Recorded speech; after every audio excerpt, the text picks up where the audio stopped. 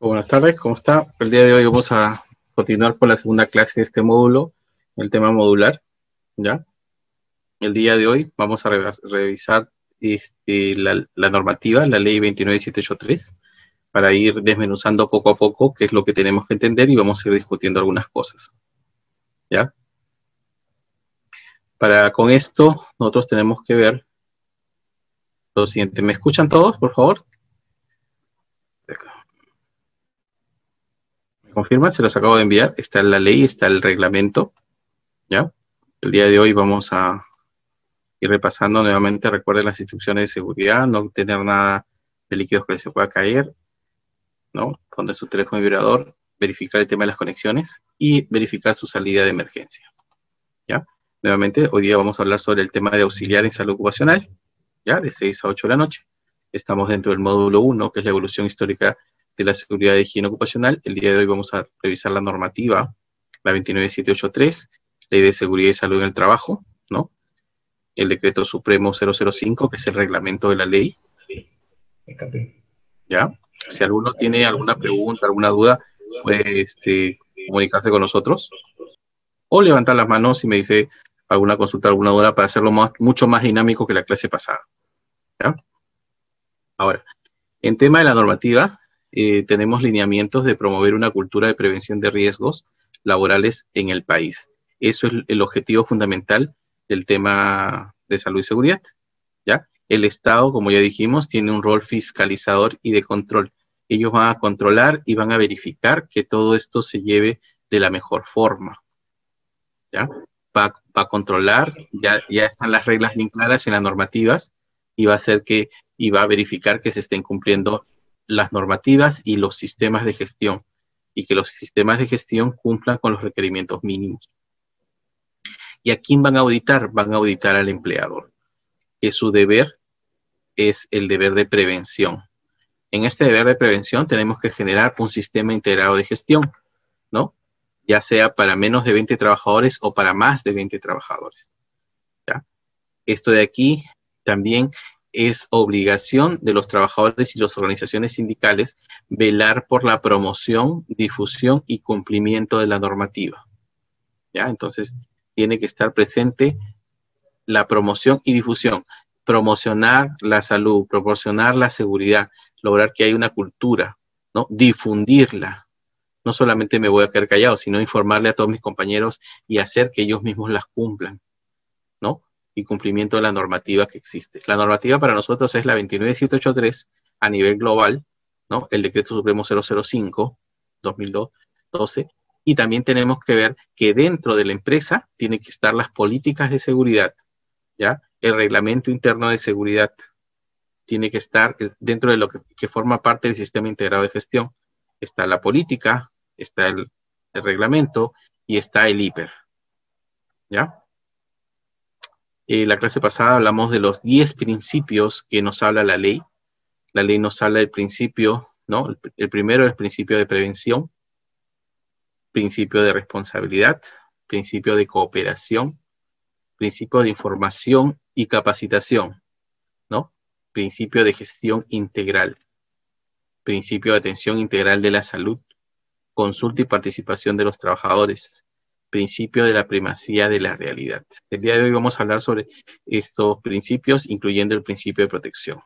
¿ya? Todo esto es dentro de la ley. Hoy día vamos a revisar también la ley, vamos a ir desmenuzándola poco a poco y vamos a ir leyendo algunos artículos y explicándoselos. Vamos a empezar con el principio de prevención. Los principales los principios fundamentales de seguridad y salud en el trabajo que están en la normativa en el principio de prevención, dice la normativa, que el empleador garantiza que en tu centro de trabajo el establecimiento de los medios y condiciones que van a proteger la vida, la salud y el bienestar de los trabajadores. Y de aquellos que no teniendo vínculo laboral, prestan servicios o se encuentran dentro del centro de labores. Debe considerar factores sociales, laborales y biológicos diferenciados en función del sexo, incorporando la dimensión de género en la evaluación y prevención de riesgos en la salud laboral. ¿Por qué es esto? Porque existen normativas para tema de maternidad, ¿verdad? Tema de mujer gestante, tema de mujer lactante, ¿no? También tiene que ver con temas eh, biológicos, ¿no? Con temas sociales, Entonces tenemos que ver, este es el principio de prevención. No sé si alguno tiene alguna pregunta o duda sobre cada principio, vamos a ir aperturando la idea que ustedes nos puedan hacer las consultas. Yo creo que está claro. ¿Algún ejemplo eh, que podamos tener de tema de prevención? Hay que recordar que es mucho más eh, objetivo, es mucho más veraz realizar trabajos cuando se vaya antes que se inicie las actividades, ¿no? En, en la época de programación, de planeamiento. Ahí ya podemos hablar de cuál es la prevención, qué equipos ya deberíamos tener antes de iniciar las actividades, ¿no? Cuáles deberían ser los ambientes adecuados para poder este, empezar a laborar. Esto lo hace sin, ¿no? No sé si ustedes habrán visto ante la llegada de un niño a la casa, empiezan a hacer cambios estructurales, ¿no? cambios para la seguridad del niño, le ponen una cama ideal, después cuando el niño va a empezar a caminar, ponen protecciones a los diferentes lugares, a los peligros que puede estar expuesto ese niño. Si tienes escalera, proteges la escalera para que no se caiga. Si tienes una ventana, le pones una malla, ¿no? Si tienes este, esquinas o zonas puntiagudas, ¿no? O punzocortantes, las cubres, ¿no? Aseguras las puertas para que no esté revisando sobre algunos lugares donde hay algunos este, objetos que les pudieran hacer daño, ¿no? De, evitas dejar cosas a su, a su alcance. Entonces, esos son principios de prevención. Está previniendo que no pasen algunas cosas, ¿ya? Entonces, ese es el, ese es el primero que nosotros vamos a revisar el día de hoy para que ustedes no tengan ningún inconveniente, ¿ya? Después vamos este, ir revisando algunas cosas más adelante y donde vamos a poner algunos ejemplos el principio de responsabilidad, el principio de responsabilidad nos habla de que el empleador asume las implicancias económicas, legales y de cualquier otra índole a consecuencia de un accidente o una enfermedad que sufre el trabajador en el desempeño de sus funciones o a consecuencia de él conforme a las normas vigentes. Esto nos dice que eso es por parte del empleador. Él es el que va a asumir esta responsabilidad es una responsabilidad económica. ¿Por qué? Porque puede haber este, para la atención, ¿no? La atención, una indemnización al trabajador en caso corresponda, ¿no? En tema legal, ¿no? Es responsable legalmente frente a un accidente.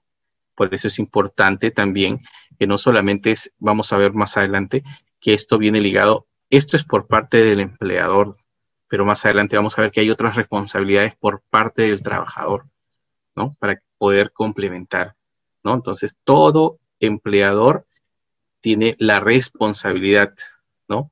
De cualquier cosa que suceda a sus trabajadores, generar una respuesta económica, legal o de cualquier índole. ¿A qué se llama esto? No necesariamente va a darle una retribución económica al trabajador, sino que tiene que velar por la atención en caso de una enfermedad o un accidente. Ahora, en muchas situaciones están contratando seguros que se llama un SCTR, seguro complementario de trabajo de riesgo, ¿no? Pagan su, este, su seguro de salud, ¿no? Su seguro de salud para en que en caso de cualquier enfermedad puedan atenderse, en caso de un accidente también puedan atenderse, ya sea accidente común en casa o accidente laboral en el centro de labores. Entonces, bajo estas dos circunstancias, ya el empleador cumple con esa responsabilidad. Ahora, estas instancias también hacen investigaciones para determinar si ha sido un accidente de trabajo producto de un acto, un acto por parte del trabajador o una condición por parte de la institución. ¿no? Entonces, a razón de eso ya van a haber muchos otros más cambios que pueden dar algún beneficio, un beneficio tanto al trabajador como quizás también si es que ha sido mal manejado por parte del trabajador y o los compañeros y o el trabajador, algunas aseguradoras no, no aplican para la indemnización del trabajador. Es muy importante estar conscientes de todas las cosas que nosotros podemos hacer. El principio número tres es el principio de cooperación, ¿no? Ahí entra los tres, las tres áreas que hemos visto al inicio, Estado, empleador y trabajador. Ya estamos hablando que estos tres tienen que trabajar conjuntamente, ¿no? Si bien es cierto, es responsabilidad de uno, pero los tres tienen que trabajar de la mano, ¿no? Junto con organizaciones sindicales que establecen mecanismos que van a garantizar una permanente colaboración y coordinación en materia de seguridad y salud. Porque puede ser que el Estado ha emitido las normas respectivas, ha emitido eh, los decretos respectivos, pero no hay un ente fiscalizador adecuado para este proceso, o, no o se está demorando, o N cosas, ¿no? Para eso está la SUNAFIL, ¿no? De fiscalización. Ahora, cuando nosotros hablamos de esto, también los empleadores tienen que tener su sistema integrado de gestión, en la cual va a ser un tema administrativo y un tema operativo. Y los trabajadores deben ser partícipe de estos procesos, porque ellos son los que realizan la actividad, ellos conocen cuáles son las actividades, ellos conocen cuáles son las funciones que van a desarrollar, ellos conocen cuáles son las herramientas que van a utilizar, ellos saben los horarios en los que van a trabajar conocen los lugares, ¿no? Conocen las condiciones de trabajo. Por eso es muy importante que dentro de lo que es el área de salud ocupacional conozcamos esta realidad, ¿no? Y la organización sindical tiene que no solamente exigir al empleador, porque lastimosamente esto se ha venido muy a menos donde el sindicato se une para irse contra el empleador. No, en este caso el sindicato debe exigir que se cumpla todo lo que dicen los procedimientos en relación a salud y seguridad y debe exigirle al, empleado, al compañero, ¿no? Al trabajador que cumpla con todo lo relacionado a salud y seguridad. Por ejemplo, vemos en muchos casos que personas que han tenido equipos de protección personal no lo han venido usando porque no era costumbre en ellos y nosotros como compañeros, como órgano sindical, deberíamos exigirle que lo haga. No entra a trabajar si no se pone, pero muchas veces somos permisibles, permisibles con lo que hemos venido teniendo, ¿no? No, que esto siempre se ha hecho así y estamos, somos reacios al cambio, ¿no? Entonces tenemos que cooperar para que todo se resuelva. Muchas veces hay, hay tema de apoyo directo por parte del Estado por parte del empleador, pero hay una desidia de parte de los trabajadores. Y esta desidia puede llevarnos a un problema en relación, en relación a la ejecución. Porque la ejecución de temas de prevención, recuerden una frase que se va a decir mucho en todos los procesos, seguridad somos todos. Seguridad y salud somos todos. Porque nosotros tenemos que cuidarnos. ¿Ya? Entonces, trabajamos con seguridad para no tener ningún tipo de problema. Pasamos al cuarto principio de la información, ¿no? Es brindar información y brindar capacitación. Las organizaciones sindicales y los trabajadores reciben del empleador una oportuna y adecuada información y capacitación preventiva en la tarea a desarrollar, con énfasis en los potenciales riesgos para la vida y salud de los trabajadores y su familia. ¿no?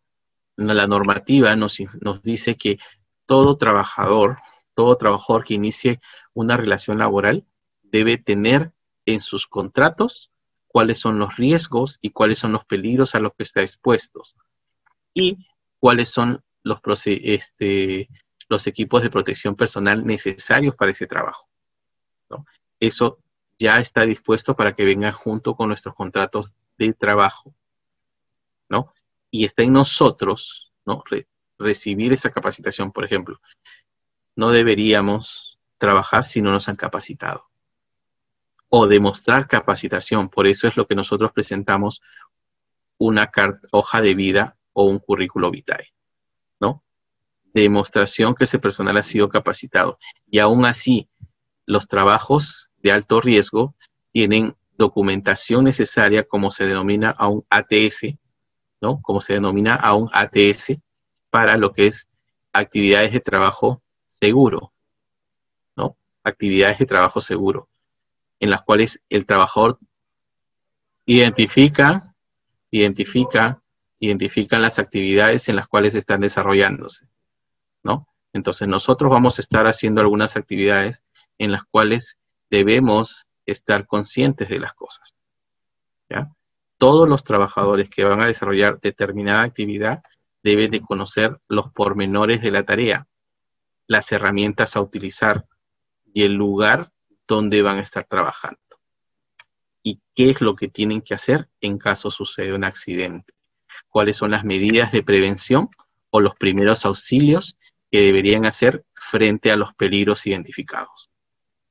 Entonces, eso es muy importante. Todo trabajador debe realizar una acción con una capacitación previa, con una información previa, ¿no? Para así evitar accidentes. Ese es uno de, los principios de información y capacitación que muchas empresas consideran como inducción general a nivel de toda la empresa y hay inducciones específicas para cada función, ¿no? Para los conductores, ¿no? Manejo defensivo, para las personas que trabajan en calderas, trabajos en caliente, ¿no? Para las personas que trabajan en soldaduras, ¿no? Trabajos y capacitaciones específicas en tema de seguridad y salud. ¿Ya? Entonces, eso, eso ya es dentro de lo que es el plan de capacitación también de inducción, o sea, de todo trabajador que ingresa a trabajar con nosotros y o de aquellos que cambien de función. Porque de repente ingresaste con un puesto y en el paso del tiempo te capacitaste todo, pero te tienen que instruir, te cambiaron de un lugar de trabajo a otro trabajo, tienen que llenar ese documento, que es un ATS, ¿no? Para decir que esta persona ha sido capacitada previa al trabajo, ¿no? Para demostrar que sí se le ha capacitado, sí se le ha dado la capacitación, para que no tenga ningún inconveniente. ¿Ya? En el tema de principios fundamentales relacionados a lo que es seguridad y salud en el trabajo, vamos a hablar de que todo empleador va a promover e integrar la gestión de seguridad y salud en el trabajo de la gestión general de la empresa. Por lo tanto, ¿qué es lo que se busca con esto? Que todas las actividades que realiza la empresa, todas las tareas, debes tener incluido el tema de seguridad y salud. ¿no? Por lo tanto, el sistema integrado, el sistema integrado de gestión debe incluir a seguridad, ¿no? Y con los diversos documentos que puedan ser sustentados y validados a través de nuestra guía de calidad, ¿no? Entonces, es una gestión integral. Desde el, desde el puesto más bajo hasta el puesto más alto tiene que ser identificado para poder dar las medidas respectivas. En el sexto fundamento, o principio es atención integral de salud. Los trabajadores que sufran algún accidente de trabajo o enfermedad ocupacional tienen derecho a las prestaciones de salud necesarias y suficientes hasta su recuperación y rehabilitación, procurando su reinserción laboral. Señores, esto es importante porque una de las cosas que nosotros vamos a tener que ver es que muchas situaciones ¿no? de un accidente o de enfermedad ¿no? demostrada e identificada, ¿no? Para que pueda llegar a ser un accidente tiene que haber una investigación, determinar quién es el, cuál es el causal de ese accidente, ¿no? Si sea una condición por parte del, lugar de trabajo o del o de la condición de trabajo, ¿no? Y o puede ser un acto inseguro, ya sea del propio trabajador o de algún otro personal de la empresa. Para poder determinar, porque hay que recordar aquí algo muy importante, el factor humano es una de las piezas fundamentales en cualquier situación de accidente. En el 80% de accidentabilidad, el factor humano está presente. ¿Ya? Entonces, lo primero que hay que hacer es atender a la víctima, atender al accidentado o atender a aquel trabajador que ha sufrido una lesión o una enfermedad ocupacional que esté dentro del listado de lo que nos menciona la normativa, que haya sido diagnosticado como enfermedad ocupacional del rubro en el cual yo me estoy desempeñando. ¿Por qué? Porque no vaya a ser que se diga que yo estoy trabajando en una zapatería y que termine intoxicado por un, un tema de, ¿qué le puedo decir? Por cloro. Y en mi trabajo no utilizan cloro. ¿No? Tiene una intoxicación por cloro, pero no es en el centro laboral. Ahora es diferente si en mi trabajo utilizan esa sustancia y está demostrado que es parte de mi quehacer diario, puede ser que pueda ser una enfermedad derivada de mi labor. Pero eso tiene que haber sido también sustentado en una identificación de peligros y evaluación de riesgos, que es el hiper de la empresa. Por eso es muy importante que nosotros tengamos conocimiento de los este, MSDS, que son las hojas, ¿no? los formatos donde nos dicen las sustancias químicas que nosotros manejamos, cómo puede ingresar a nuestro cuerpo. Identificar todo lo que nos puede hacer daño, todo lo que nos puede hacer daño, cómo podemos controlarlo, cómo podemos evitar ese tema. Hoy por hoy que está muy llegado a nosotros el tema de tóxico o tóxica, ¿no? Que es cualquier producto que nos hace producto, persona o cosa que nos haga daño. Por ejemplo, miren, en esta imagen estamos viendo que están evaluando una zona posiblemente contaminada. Miren, los trabajadores tienen sus equipos de protección personal, tienen sus overoles plásticos sellados, sus guantes, sus mascarillas, sus balones de oxígeno, vienen cuatro personas con ellos y hay una persona adicional ahí. ¿Eso, ¿Eso podríamos permitirlo? No. En nuestros centros laborales no puede haber ello. No podemos exponer a una persona a un trabajo sin el equipo de protección necesario. Estaríamos yendo en contra del principio de atención integral de salud. Entonces tenemos que ver ello.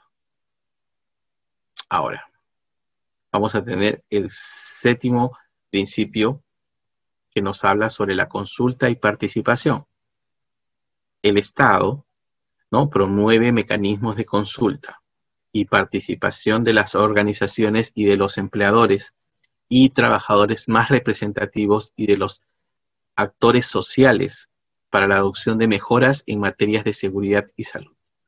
¿no? La empresa tiene que presentar informes a la DISA correspondiente, el Estado para dar los lineamientos y, y tiene un órgano de control que es el, la SUNAFIL, está abierto a recibir información directamente de los trabajadores o indirectamente en tema anónimo, ¿no? Sobre temas de seguridad y salud de los trabajadores.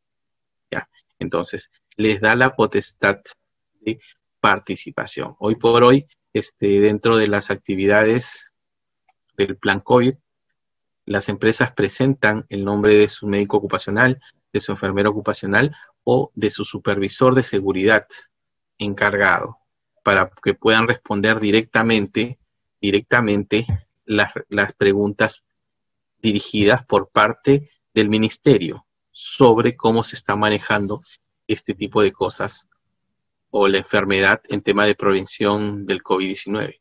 Entonces, sí tenemos acceso a esa situación. Los trabajadores pueden presentar sus denuncias, sus casos sobre si consideran que son vulnerados sus, derechos a nivel de lo que es salud y seguridad. El principio número 8, que es primacía de la realidad, ¿no? Nosotros tenemos que ver que los empleadores, los trabajadores y los representantes de ambos, vale decir el Comité de Seguridad y Salud en el Trabajo y demás entidades públicas y privadas, responsables del cumplimiento de la legislación de seguridad y salud en el trabajo van a brindar información completa y veraz sobre la materia, ¿no? De existir discrepancias entre el soporte documental y la realidad, las autoridades optan por lo constatado en la realidad. A esto vamos con relación, antes las inspecciones y las auditorías eran netamente administrativas, netamente documentarias pero si mi documentación dice una cosa y mi realidad dice otra, ¿no? Personas que no tienen capacitación, personas que tienen desconocimiento, condiciones que no han sido inspeccionadas, no hay tema de mejora, no, no se evidencia, no se evidencia reuniones, no se evidencia inducciones, ¿no?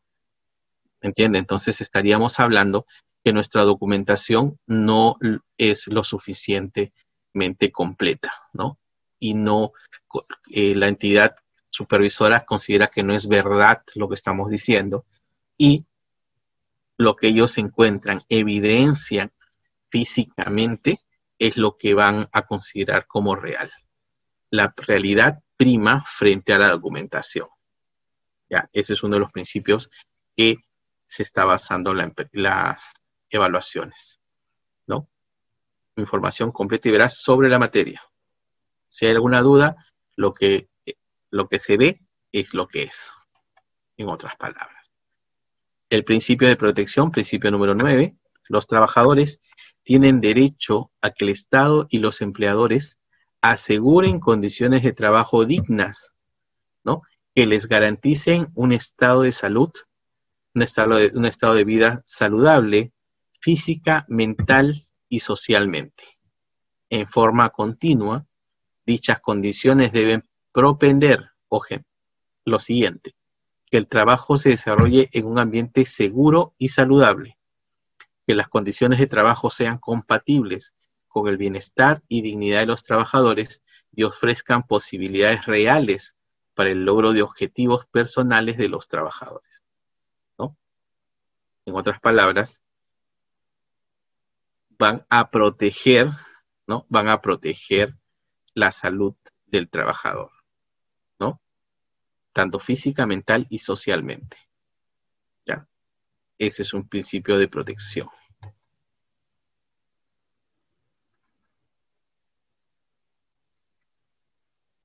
Principio de Aus, ¿no? Vamos a hablar sobre la universalidad, ¿no?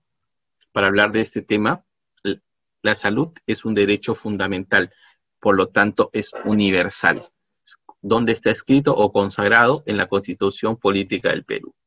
Para ello, el aseguramiento universal en salud es la garantía de la protección de salud para todas las personas residentes en el Perú, sin ninguna discriminación en todas las etapas de vida, lo cual está sustentado en el Ministerio de Salud.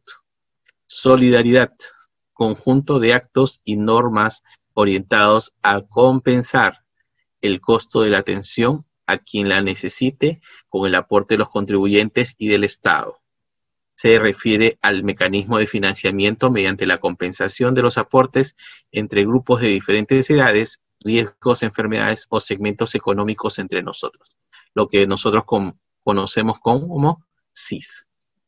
Unidad es la articulación de políticas, instituciones, regímenes, procedimientos, financiamiento y prestaciones para alcanzar los objetivos contemplados en la presente ley integralidad, otorgamiento de todas las prestaciones necesarias para solucionar determinados problemas de salud.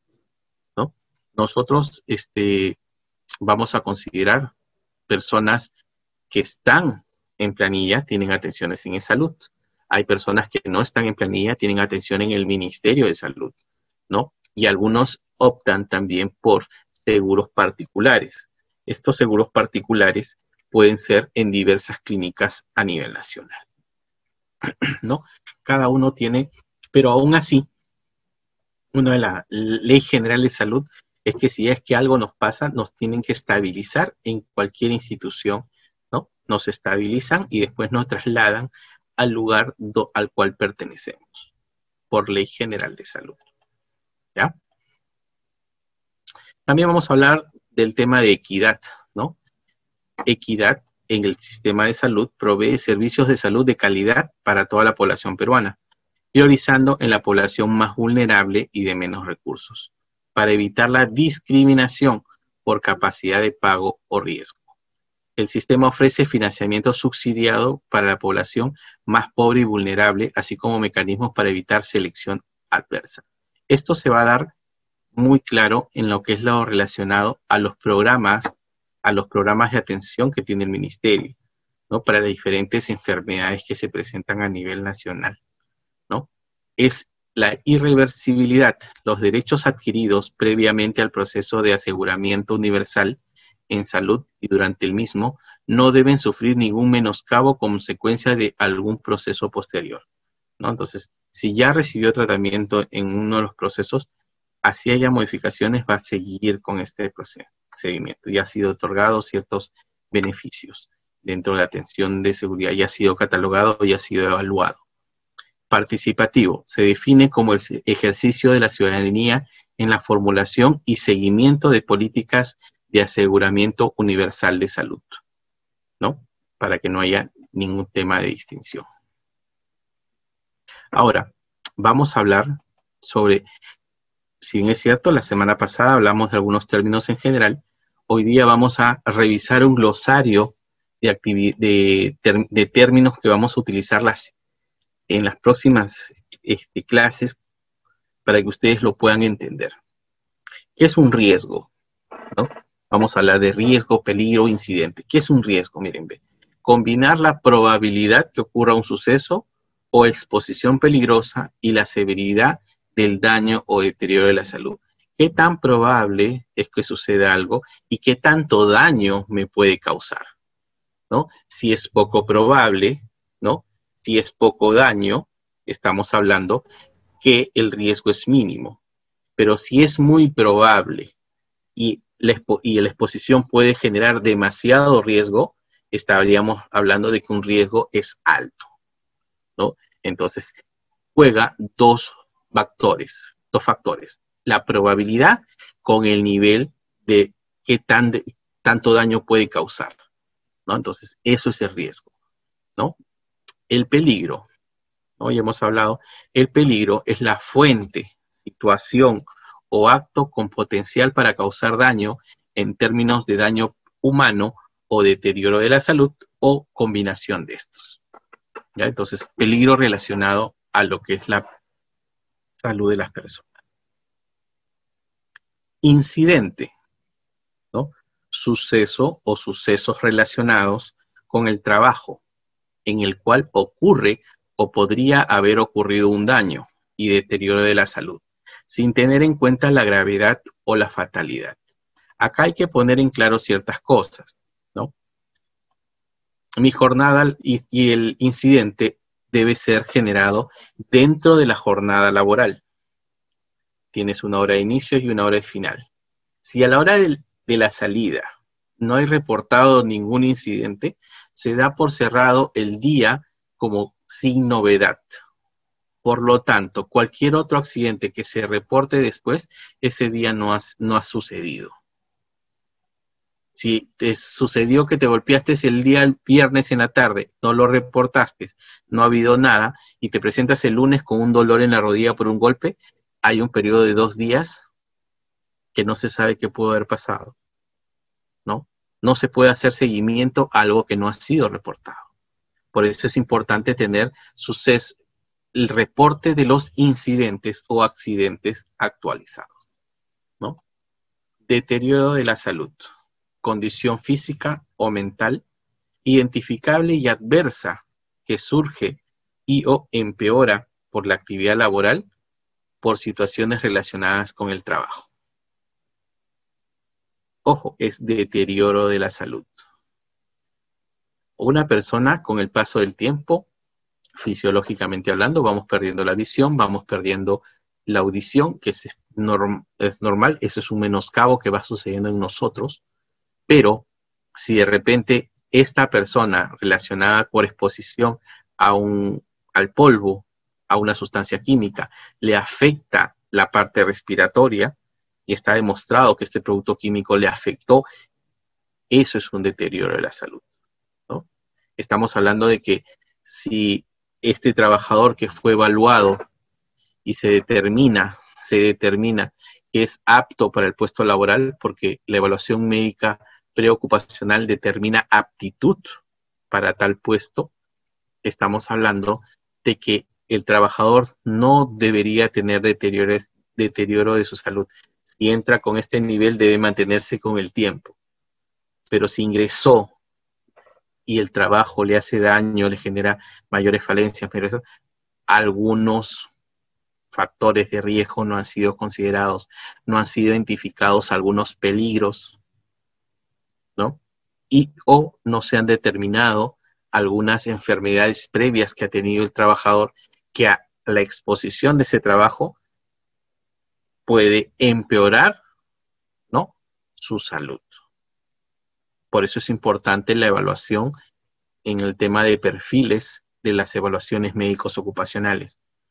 ¿no? Por eso es importante la labor del médico en la determinación de qué peligros hay, qué sustancias hay y cuáles son los perfiles de exámenes que van a realizar, qué patologías pueden verse empeoradas frente a una situación. Un ejemplo simple, yo sufro de epilepsia.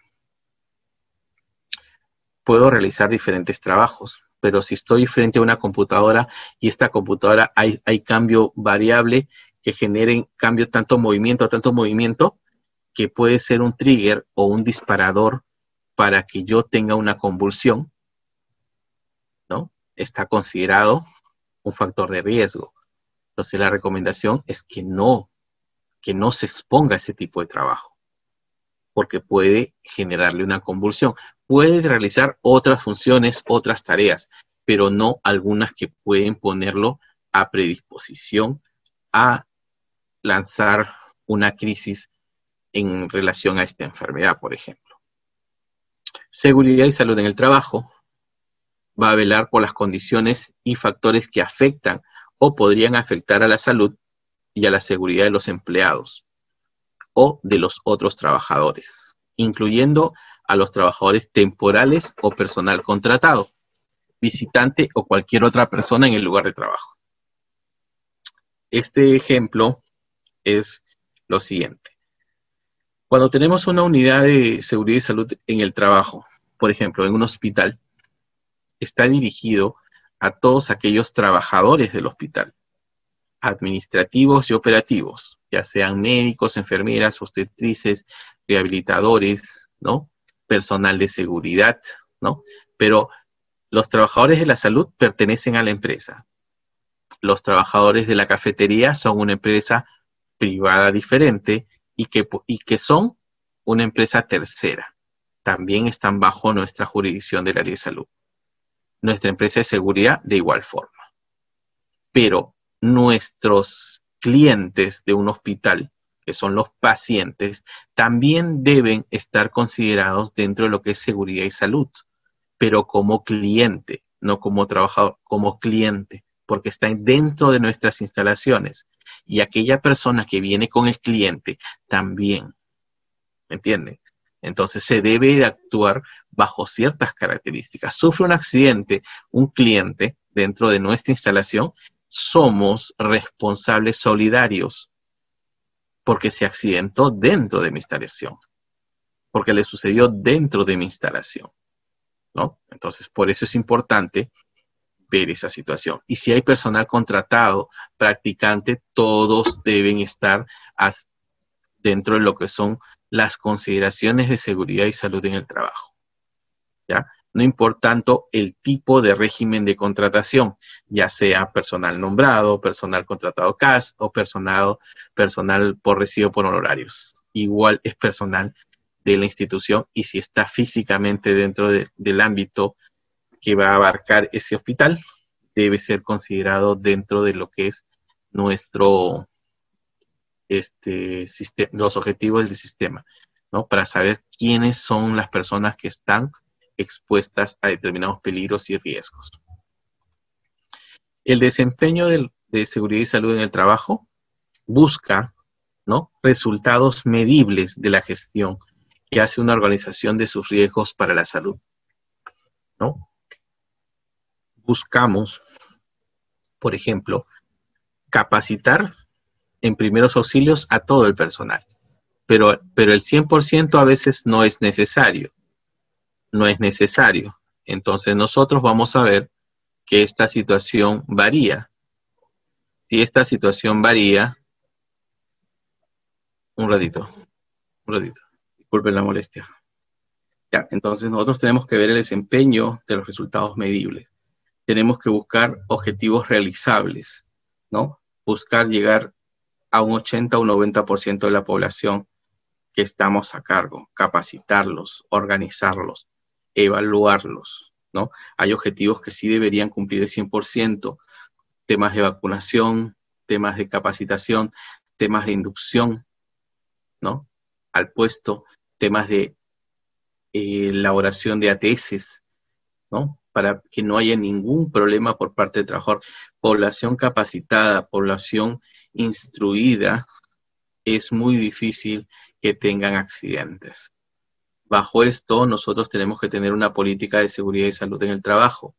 Debemos tener intenciones y direcciones generales de una organización.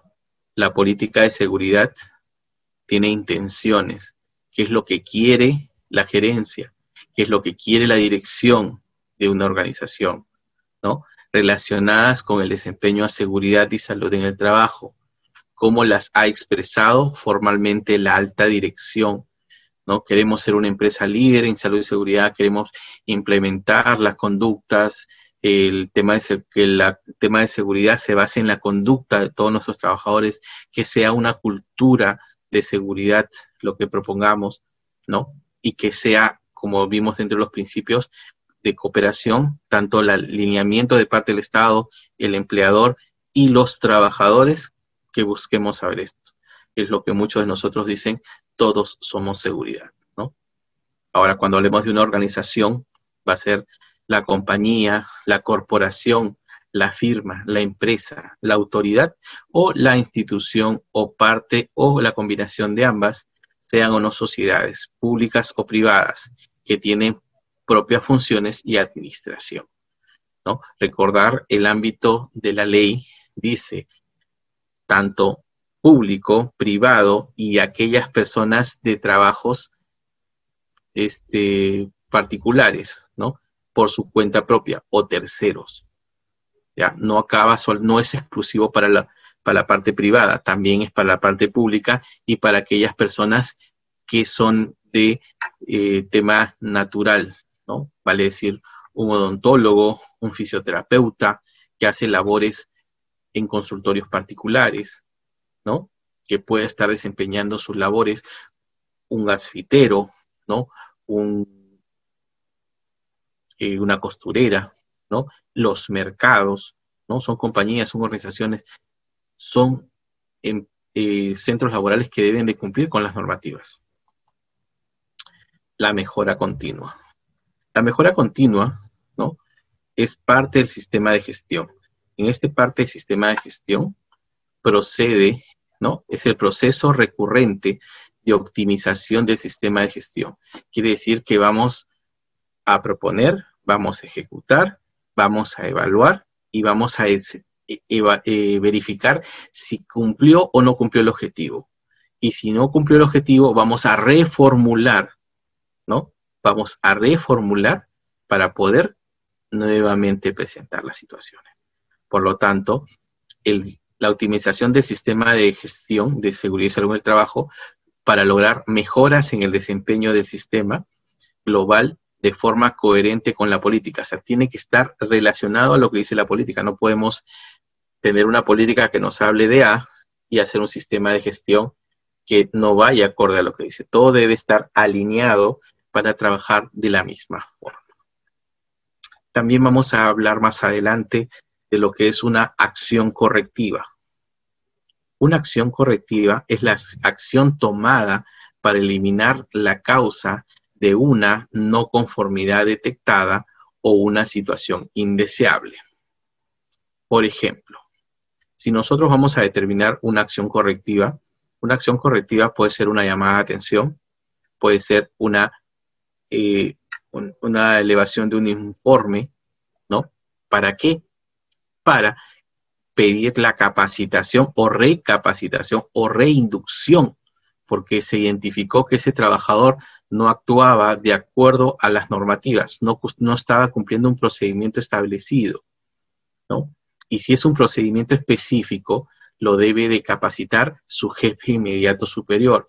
Es tarea del área de seguridad hacerle seguimiento a esta reinducción para evitar que ese trabajador se vuelva a accidentar, o vuelva a tener un posible accidente, ¿no? Si es que fuera, habrá sido un incidente nada más. Y si es necesario, no solamente hacerlo con un trabajador, sino maximizarlo al grupo específico de trabajo. ¿Para, ¿Para qué? Para identificar si es que esto o para ir eliminando las posibles causas de futuros accidentes. ¿no? La acción correctiva pasa también por una corrección del lugar de trabajo, ¿no?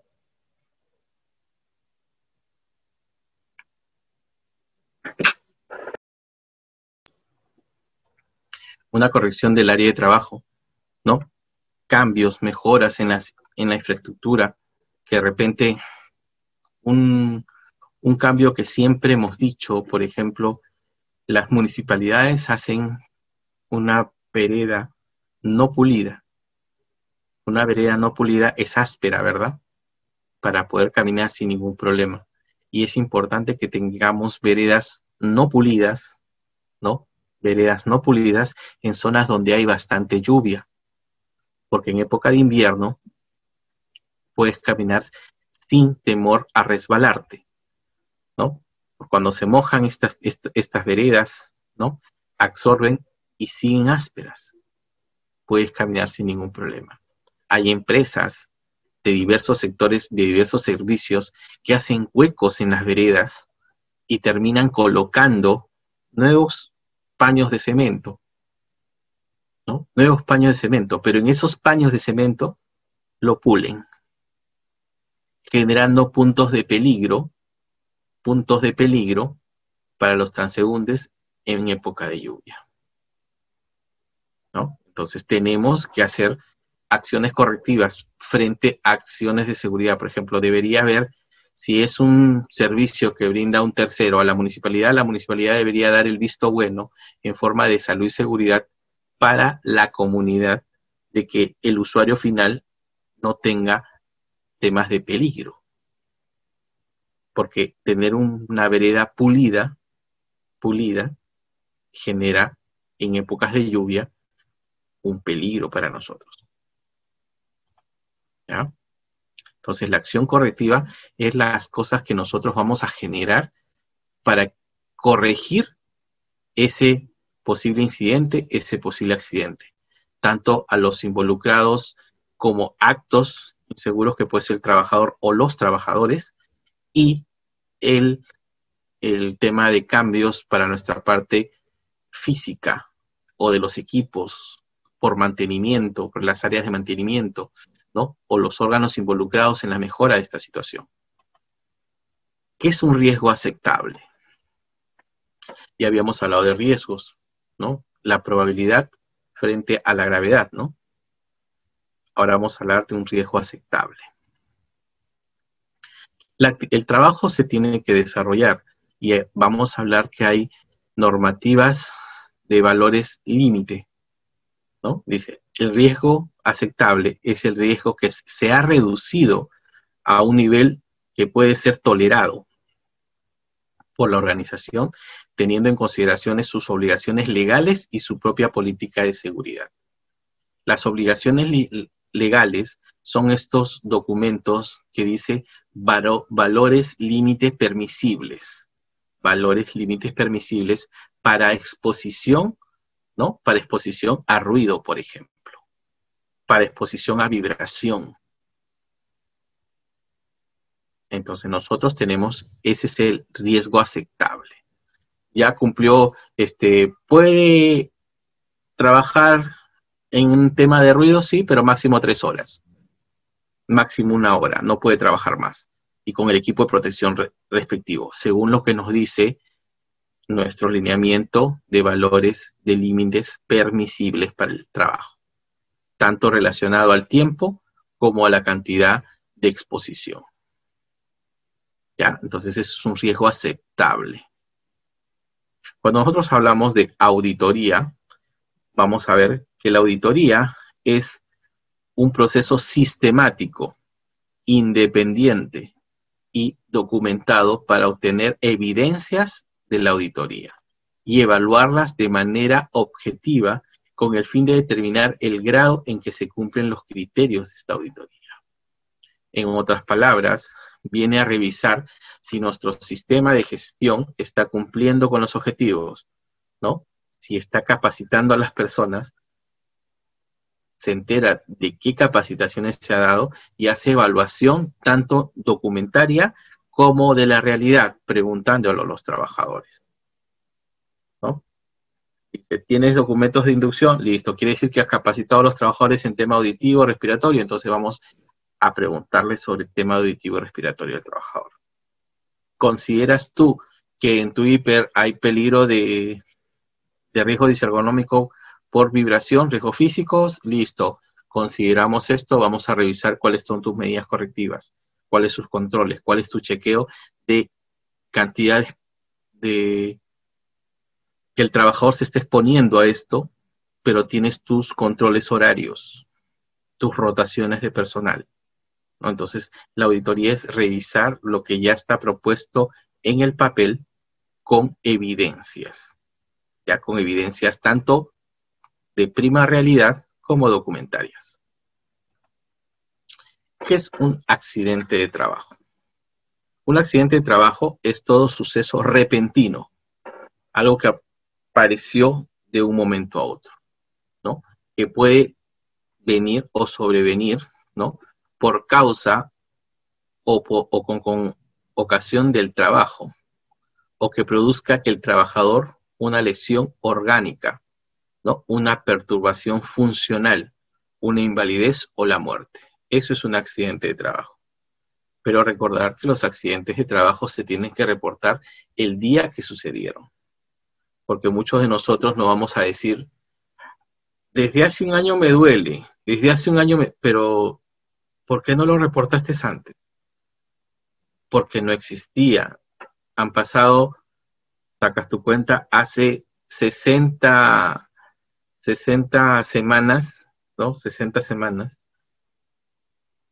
que tú refieres un hecho o un accidente. No, el accidente se tiene que reportar el mismo día que me resbalé, que me golpeé contra la herramienta, ¿no?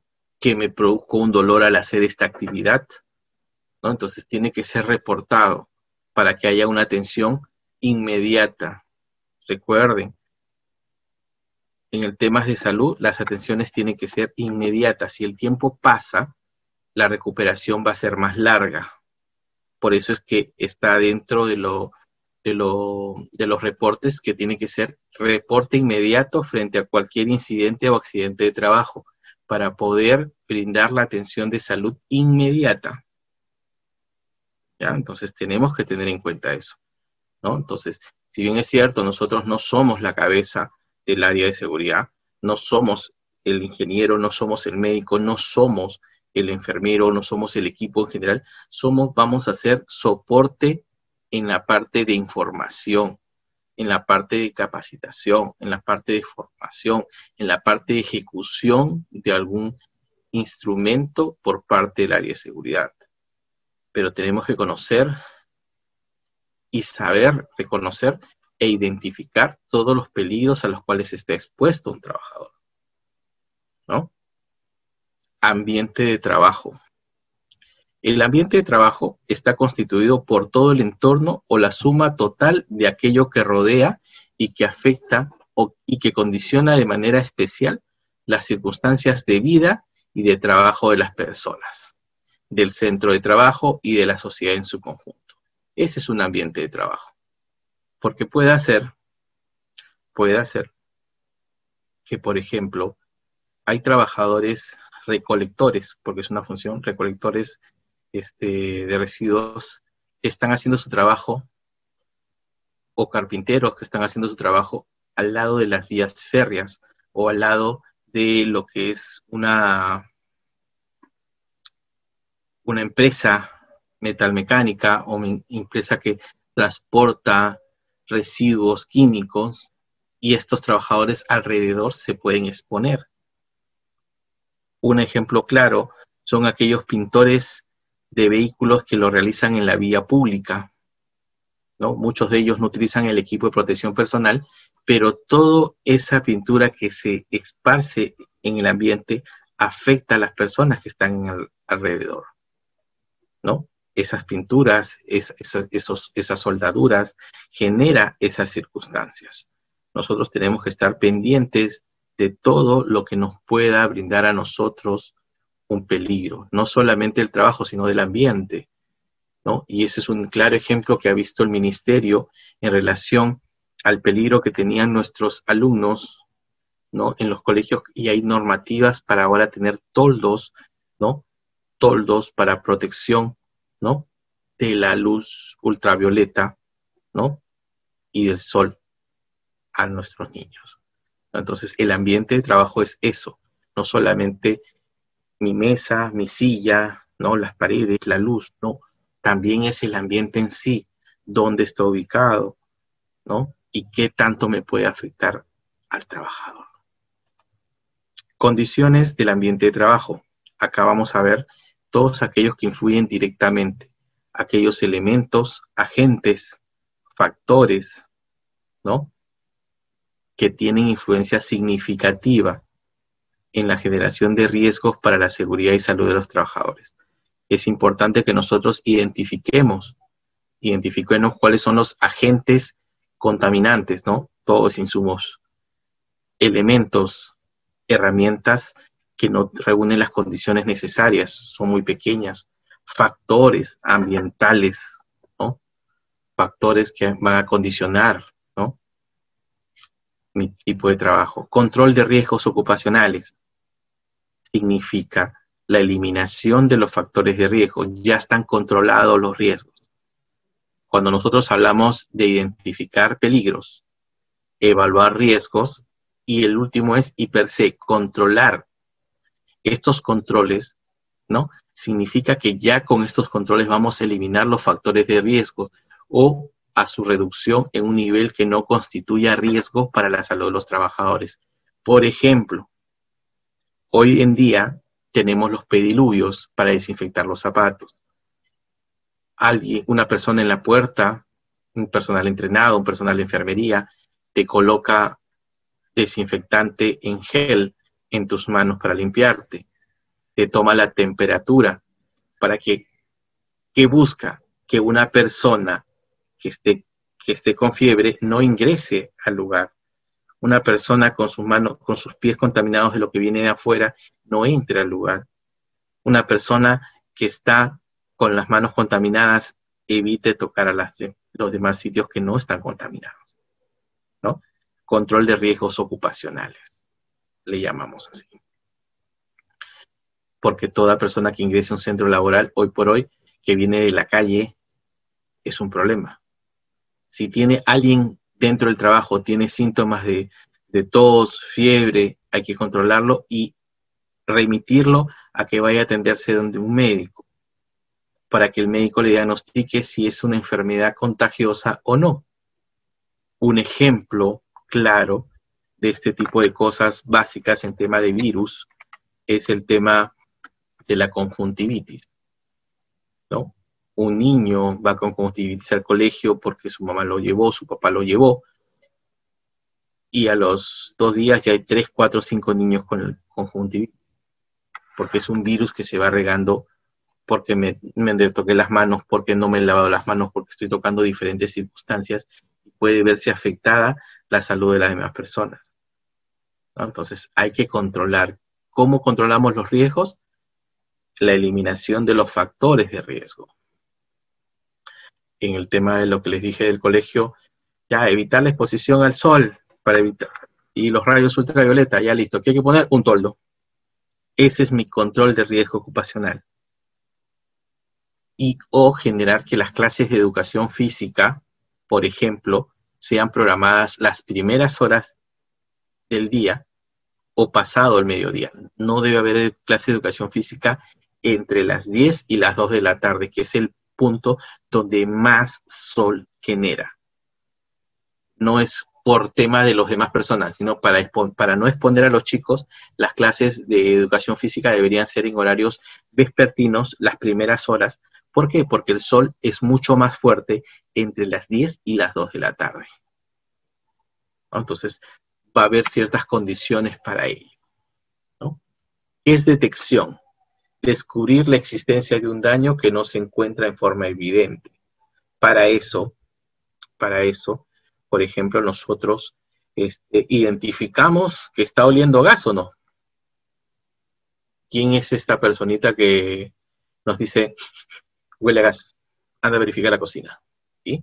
Nuestra madre, porque a veces nosotros ni siquiera nos hemos dado cuenta. El gas tiene un olor característico para que sea identificado. Hay normativas para darle ciertos, ciertos aromas a los gases para poder identificar cuando hay fuga. ¿Me entienden? Entonces, detector es importante. determinar la existencia de un daño que no se encuentre en forma evidente. El detector de metales que utiliza el personal de seguridad para evitar que las personas ingresen con algún metal o que pueda producir daños a terceros. La detección es importante para evitar el peligro para las demás personas. Enfermedad relacionada al trabajo. ¿no? Es un daño a la salud, un daño a la salud, que puede ser causado en su totalidad por las condiciones de trabajo o puede ser intensificada por estas. Ya lo hablamos al inicio. Yo llegué sano, la demostración está en mi evaluación médica ocupacional y la exposición a este trabajo es lo que me está causando esto. Considerando que tiene un solo trabajo, hay personas que tienen diferentes trabajos trabaja en este lugar, trabaja en otro lugar, entonces hay que evaluar qué, qué exposición tuvo aquí y qué exposición tuvo allá. Hay que recordar que todos los lugares no tienen las mismas condiciones, ¿no? Entonces, para ver esto, también hay que evaluar dónde vive, qué cosa es lo que consume en el lugar donde están, ¿no? En algún momento habían este, algunos trabajadores que se habían contaminado con mercurio con mercurio. Pero ¿qué había pasado? Esos trabajadores habían llegado a esa localidad y habían empezado a comer mariscos. Obviamente que el consumo de este alimento iba a subir su nivel de mercurio en el cuerpo. Pero, pero, ellos lo adosaron al trabajo que estaban desempeñando, pero estaban desempeñando labor de seguridad, labor de seguridad en una empresa aurífera dedicada al oro. Y, decían que ellos estaban expuestos al mercurio. Entonces, aquí es muy importante determinar el trabajo o la tarea que está desempeñando el trabajador. Si es un trabajador de seguridad, no tiene exposición directa al material que ellos estaban mencionando. Y trabajadores que tienen relación directa no presentaban síntomas relacionados a ello. Entonces, al hacer la investigación, determinaron que era por el consumo alimentario de lo que venían cambiando. Eran personales que no eran de la zona, no estaban acostumbrados y empezaron a consumir bastante tipo de alimento, ¿no? Y elevó sus valores normales en ellos. Entonces, no, su función no era realizar esa actividad. Recuerden que dice, es un daño a la salud que puede ser causado en su totalidad por las condiciones de trabajo, o pueden ser intensificadas por esto, intensificadas por esto. Entonces tenemos que ver esa situación. Muchas personas también han comentado otro ejemplo, el tema de las varices. ¿no? Las varices no son, son enfermedades relacionadas al trabajo, pero no es una enfermedad ocupacional. Miren, ¿ah? ahorita vamos a ver las diferencias. Las varices pueden ser que un trabajador sea personal de seguridad que tiene que estar parado todo el día, que esto puede intensificar la enfermedad que ya tenía el trabajador, ¿no? La enfermedad que ya tenía el trabajador. Entonces, al trabajador tener esta enfermedad y estar parado esto de pie, va a generarle malestares, va a generarle dolores, ¿no? Pero no es una enfermedad ocupacional. Puede aumentarlos y por eso es importantísimo identificar cuáles son los riesgos de un, de un trabajador que está de pie.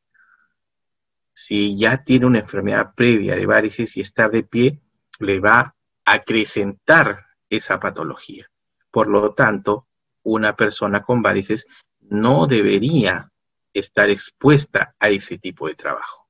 Por lo tanto, en la actitud laboral debería estar condicionado, ¿no?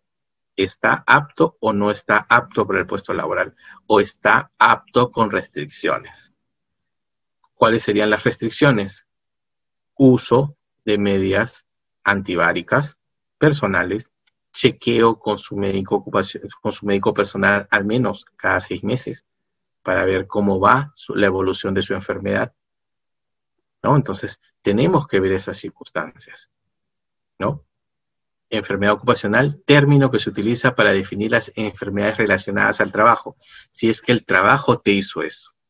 Pero si solamente intensificó, es relacionada al trabajo. ¿Ya? Enfermedad profesional, enfermedad contraída como resultado de la exposición a factores de riesgo inherentes de la actividad laboral y de carácter legal. Por ejemplo, mucho se dijo en algún momento que las empresas mineras, los, trabajadores generaban sí o sí enfermedades pulmonares. ¿no? Entonces, eso está considerado una enfermedad profesional. ¿no? Entonces, para poder determinar ello, nosotros en el Perú tenemos un listado de enfermedades ocupacionales en las cuales vamos a poder determinar o diagnosticar ello.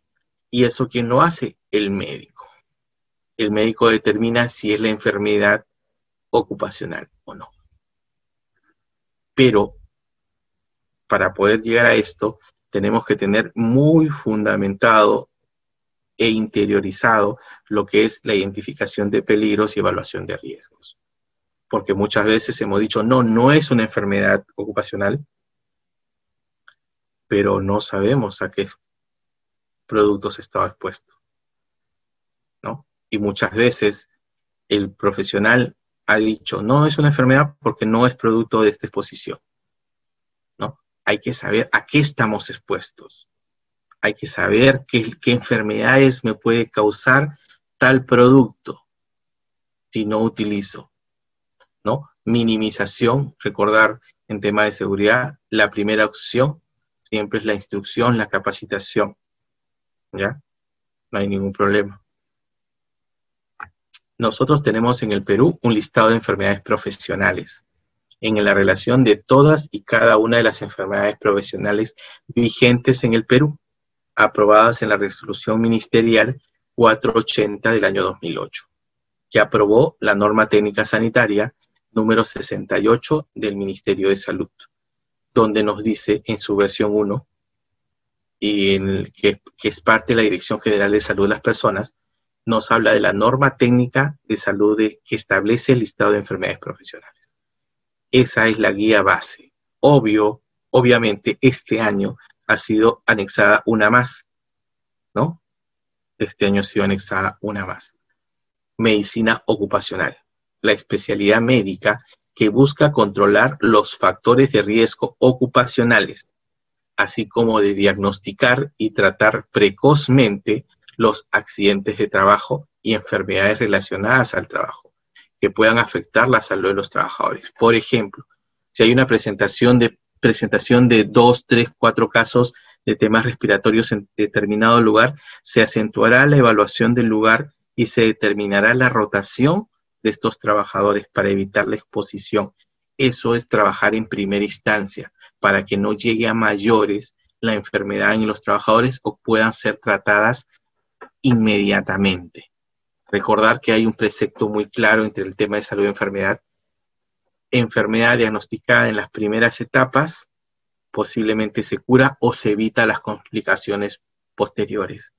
Pero el médico no va a saber, no va a saber de una enfermedad que no ha sido reportada, ¿no? que no ha sido reportada. Por eso es importante informar sobre las diferentes situaciones a las cuales nosotros nos exponemos. ¿ya?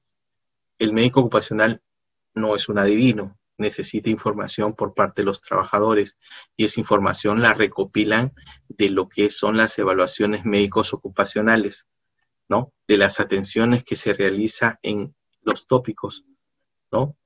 De la información de descansos médicos que llega a la empresa, ¿no? Para poder saber si es solamente de determinadas áreas de hacer las investigaciones y correcciones pertinentes. Para esto también vamos a tener lo que son las pólizas, ¿no? Los llamados seguros, ¿no? Los más comunes en los temas de trabajo son SCTR, es el más común. Es el documento que sirve para demostrar la validez de un contrato en seguros, bolsa y en otros aspectos que pudiera causar daño, y en el que aparecen las condiciones, características y cláusulas del contrato. Vuelvo a repetir, el SCTR tiene condiciones, tiene ciertas características y cláusulas que ya se las he ido mencionando.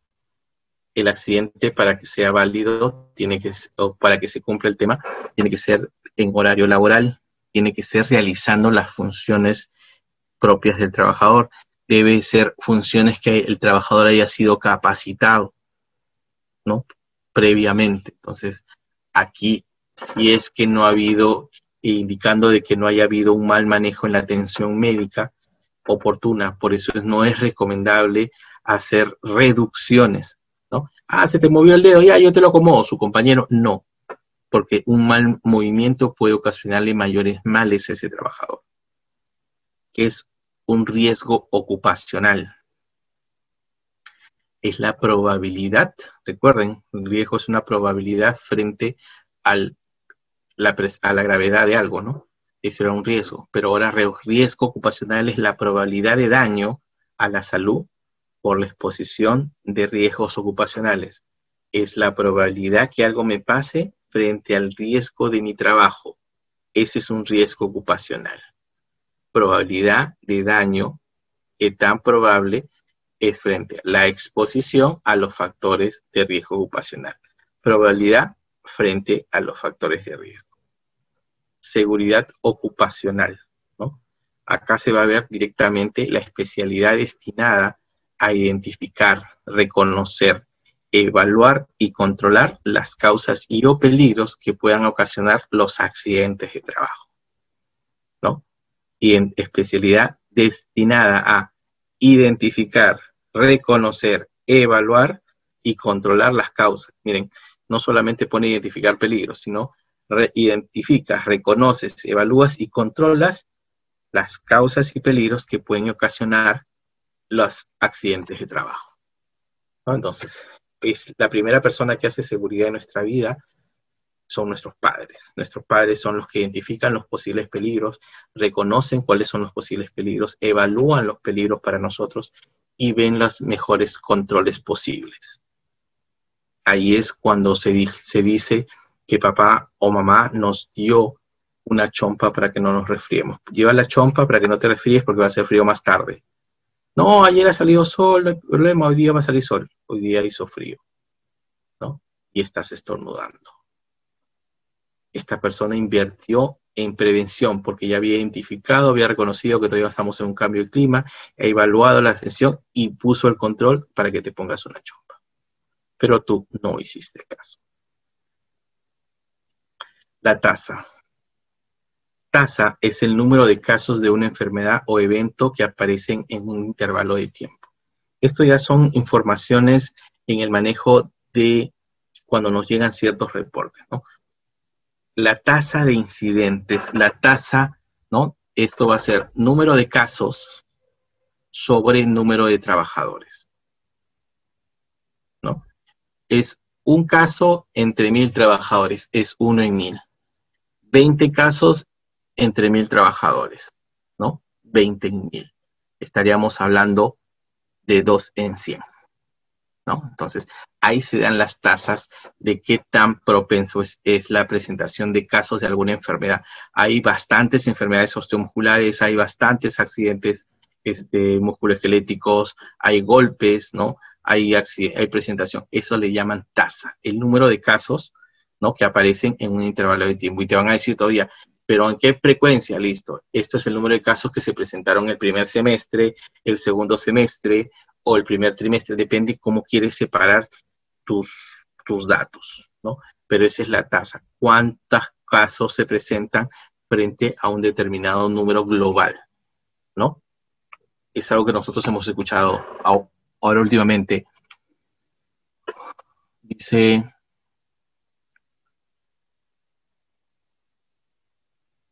de cada mil peruanas, 10 se enferman con COVID y de estos 10, 3 de cada 10 que se enferman, tres son adultos mayores. ¿No? Ah, esas son las tasas. ¿ya? Para que más o menos tengamos en cuenta cómo presentan los casos. El trabajador o trabajadora. Una persona que de forma voluntaria presta sus servicios remunerados en un centro de trabajo o bien como trabajador independiente. Sí, porque nadie nos obliga a ir a trabajar, firmamos nuestros contratos voluntariamente, aceptamos las condiciones económicas que nos han presentado o que nosotros hemos exigido, dependiendo de sea el caso, ¿no? Eso es muy importante. Trabajador infantil o trabajo infantil es toda actividad desempeñada por una persona menor de 14 años en edad de modo permanente o en tiempo determinado. ¿Ya? Es en base a la edad. Menor de 14 años es trabajo infantil. Ahora, dentro de todas estas actividades, salud y seguridad hace proceso de vigilancia. Ya identificaste tu línea base, cómo están los chicos ahora, hiciste tus exámenes médicos ocupacionales, ¿no? Ya hiciste un corte de inicio y a partir de ahí identificas cuáles son los grupos de riesgo, qué es lo que te sale en tus exámenes y a partir de ahí vas a hacer un proceso de vigilancia. El proceso de vigilancia consiste en la identificación, análisis y interpretación y difusión sistemática de datos recolectados. Generalmente por métodos que distinguen por ser prácticos, uniformes y rápidos, que sirven para observar las tendencias del tiempo, lugar y persona. Vas a ir viendo cómo están los chicos que trabajan en tal lugar, en tal lugar, en tal lugar, en los diferentes lugares de tu, en la empresa donde tú laboras, ¿no? Cómo va su salud cada cierto tiempo, ¿no? Presentan algunos casos. Lo ideal es que todo trabajador se presente en óptimas condiciones de salud al inicio de su jornada laboral. Al inicio de su jornada laboral. ¿Ya? Van a observar las tendencias en el tiempo, cómo ha ido la salud de ese trabajador, si en este tiempo se ha presentado continuamente o ya hay determinados eh, que nos dice que después de tres semanas, cuatro semanas realizando alguna actividad, ya empiezan a presentarte ciertos dolores. Por lo tanto, pueden recomendar rotación de personal. Por eso es que salieron en determinados momentos las jornadas atípicas, ¿no? Que hacen algunos este, servicios de 21 por 7, que ya está normado dentro de lo que es este, algunos sectores como el minero. No puedes trabajar más de 21 días por 7 días, ¿no? 21, 21 días trabajados por 7 días de descanso, ¿no? No puedes, algunas empresas tienen normados estos procesos de 15 por 15, ¿no? Algunos en construcción de civil es mucho más amplio que puede llegar a 39 por 7, entonces, hay ciertas tendencias en estos procesos, ¿no? Puedes hacerlo en forma grupal, de un grupo de trabajo, o puedes hacer vigilancia específica de grupo de personas con ciertos riesgos, ¿no? Personas que tienen diabetes, ¿no? Personas que sufren de hipertensión en tu empresa, personas que tienen problemas de oído, problemas respiratorios, ¿no? Entonces, o tienen exposición a estos factores, ¿no? Las personas que manejan maquinarias pesadas, ¿no? Hay que controlar su peso, controlar su hipertensión, ¿no? Para ver que en el tiempo no vayan cambiando, porque hay algunos puestos que son, que son de sedentarismo, o sea, que paran sentados, el trabajador con el tipo de alimentación que recibe puede subir este, considerablemente de peso, ¿no? Por eso es, como dice, ¿no? Con aquellos datos pueden observarse y anticiparse a los cambios, ¿no? Que requieren acciones oportunas como la investigación o la aplicación de medidas de prevención y control, ¿no? Entonces, estar un paso adelante, ¿no? No sé si ustedes recordarán, esto es algo muy materno, ¿no? El tema de vigilancia, siempre este, la mejor persona que hace vigilancia en seguridad y salud de las personas es la madre. Cuidado, te vas a caer de ahí, no te caes, ¿no? Ponte tal cosa, ponte tal otra, ¿no? Preocupándose por nuestra seguridad y por nuestra salud, ¿no? Lávate las manos antes y después de la comida, siéntate bien, ¿no? Son recomendaciones para la indicación y nuestro cuidado, ¿no? Por ejemplo, miren, acá vemos, están haciendo prácticas de tiro, ¿no? Están haciendo prácticas de tiro. ¿Y quién está soportando? Miren, ese puesto de trabajo. Y mucho más aún, en la parte posterior ven que si esos disparos pasan, hay ventanas, hay lunas, no hay nada que va a soportar, no hay nada que va a soportar el paso de, un disparo. Se puede lesionar este trabajador, puede lesionar, ¿no? Entonces estamos hablando de muchas disvarianzas. ¿Alguna pregunta hasta acá?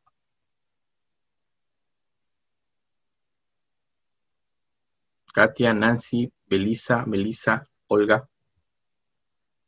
¿Alguna pregunta? ¿Ya? Estos son más que todo la terminología que vamos a utilizar más adelante para que ya pueda estar explicada. Si tienen alguna duda, alguna pregunta, me lo escriben en el chat, ¿ya? Nosotros. A ver.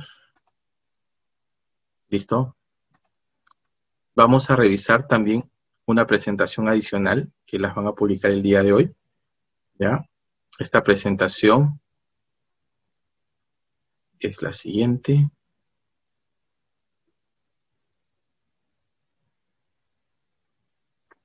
que es relacionada a un tema más que todo de impacto.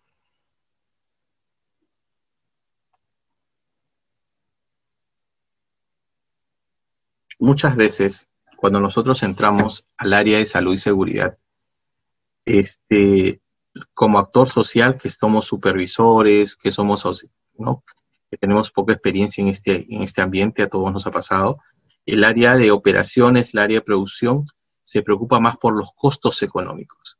Entonces nosotros tenemos que hablar sobre costos de la salud ocupacional. Cuando hablamos de costos de la salud ocupacional, nosotros vamos a ver lo siguiente nos preguntamos, ¿qué factores pueden influenciar en la salud de los trabajadores de esta empresa? ¿Cómo puedo hacer para lograr recursos económicos para el área de salud ocupacional? Porque muchas veces las empresas nos contratan, ya listo, contratamos al personal, listo, ya cumplimos con la normativa. Pero tengo que yo identificar los peligros y, los riesgos, ¿no? Y evaluar los riesgos de todos los puestos de trabajo. O sea, tengo que realizar un hiper. Entonces, muchos de nosotros que no conocemos la realidad de la empresa, tenemos que empaparnos de eso. Primeramente debemos realizar una revisión documentaria del manual de operaciones y funciones de la empresa para saber cuáles son todos los puestos laborales y hacernos las preguntas si realmente conocemos cuáles son las actividades de cada puesto laboral y si conocemos las condiciones que están desarrollando ese trabajo. ¿No? Entonces, mi pregunta es, ¿qué factores puede influenciar en la salud de, los trabajadores de la empresa. Ya desde ahí yo ya estoy haciendo mi trabajo en salud y seguridad. Ahora tú eres un adulto, pero cuando tú llamas a esta gran persona y recordar esta frase, madre solo hay una, tú lo llamas para saber cómo está y lo primero que te pregunta ella es, hijo, ¿ya comiste? Hijo, ¿ya saliste del trabajo? Hija, ¿estás bien? Porque sabe y se preocupa por nosotros. Ahora, después de que ya hice todas mis averiguaciones y todo, encontré los factores, hice mi hiper, ¿cómo puedo lograr recursos económicos para el área de salud ocupacional? ¿Para qué? Para generar los controles, ¿no? Para poder generar los controles. Ya sé lo que necesitan mis trabajadores, ya sé cómo debo de controlar, ya sé que está expuesto, entonces tengo que generar controles. Para eso necesito recursos. Hasta para los papeles, hasta para las hojas, los tableros, ¿no? ¿Y qué documentación debo de presentar para sustentar esto? ¿Cuáles son las normas en que debes sustentar esta realidad? Por eso es importante revisar la normativa. Si bien es cierto, la 29783 nos da un gran paso, pero ya hemos revisado ciertas normativas, ya hemos hablado de valores mínimos permisibles, listado de enfermedades ocupacionales que existe en el Perú. Hemos hablado de el reglamento interno de seguridad. Entonces, yo debo ya ir buscando la documentación que yo necesito, ¿no?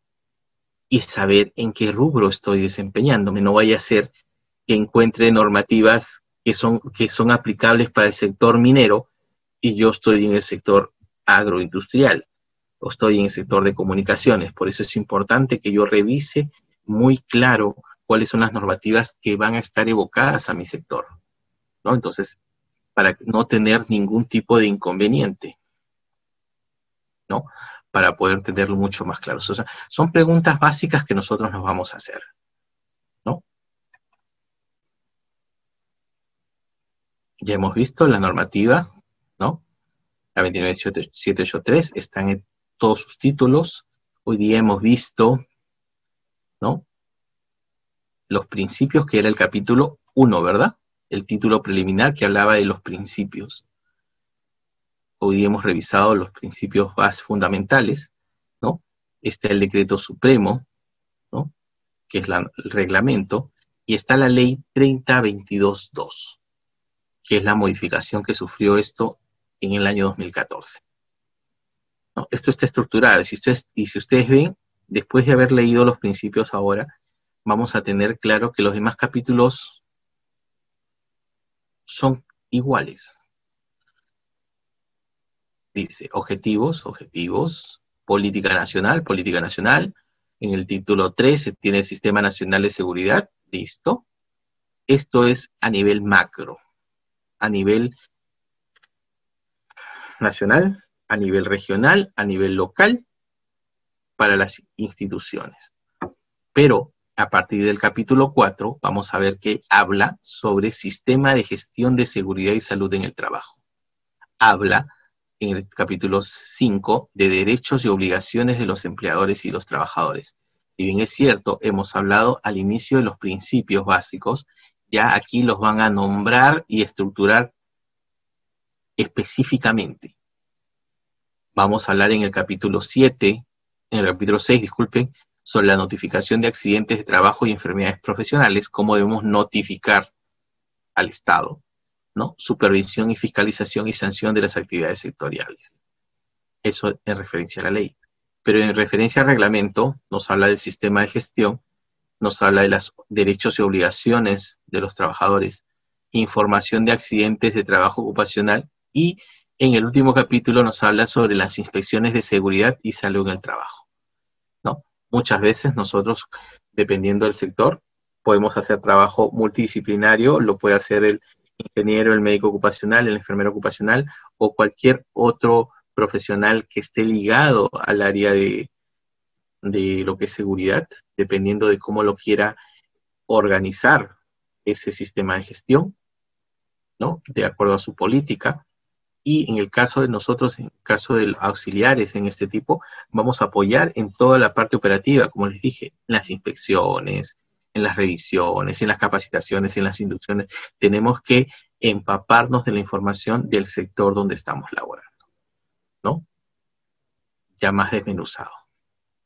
Esto es la prerrogativa a lo que ustedes van a revisar. Ya les pasé a todos ustedes por interno interno el, el, en el de mensaje del chat la normativa, la ley y el reglamento.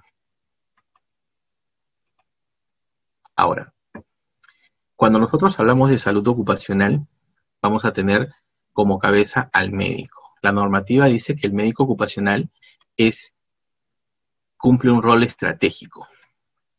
¿ya?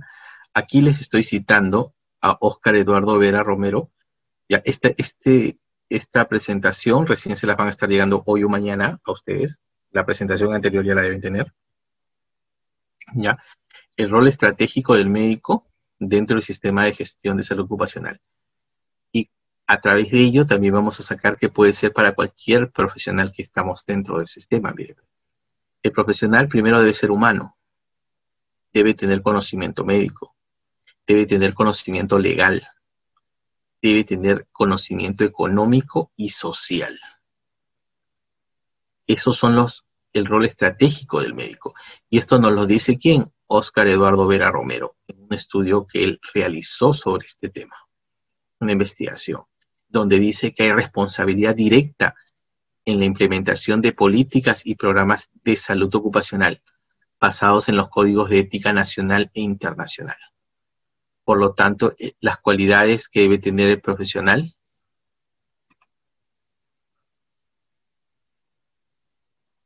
En el caso de los documentos mínimos del que debe tener la documentación necesaria la empresa, según nos pregunta Olga, es la política de la empresa en factores de salud y seguridad, eso lo genera la dirección, debe tener un sistema integrado de gestión básico, que podría ser solamente tu plan anual de salud y seguridad, en el cual debe incluir un hiper, un reglamento interno de seguridad, ¿ya?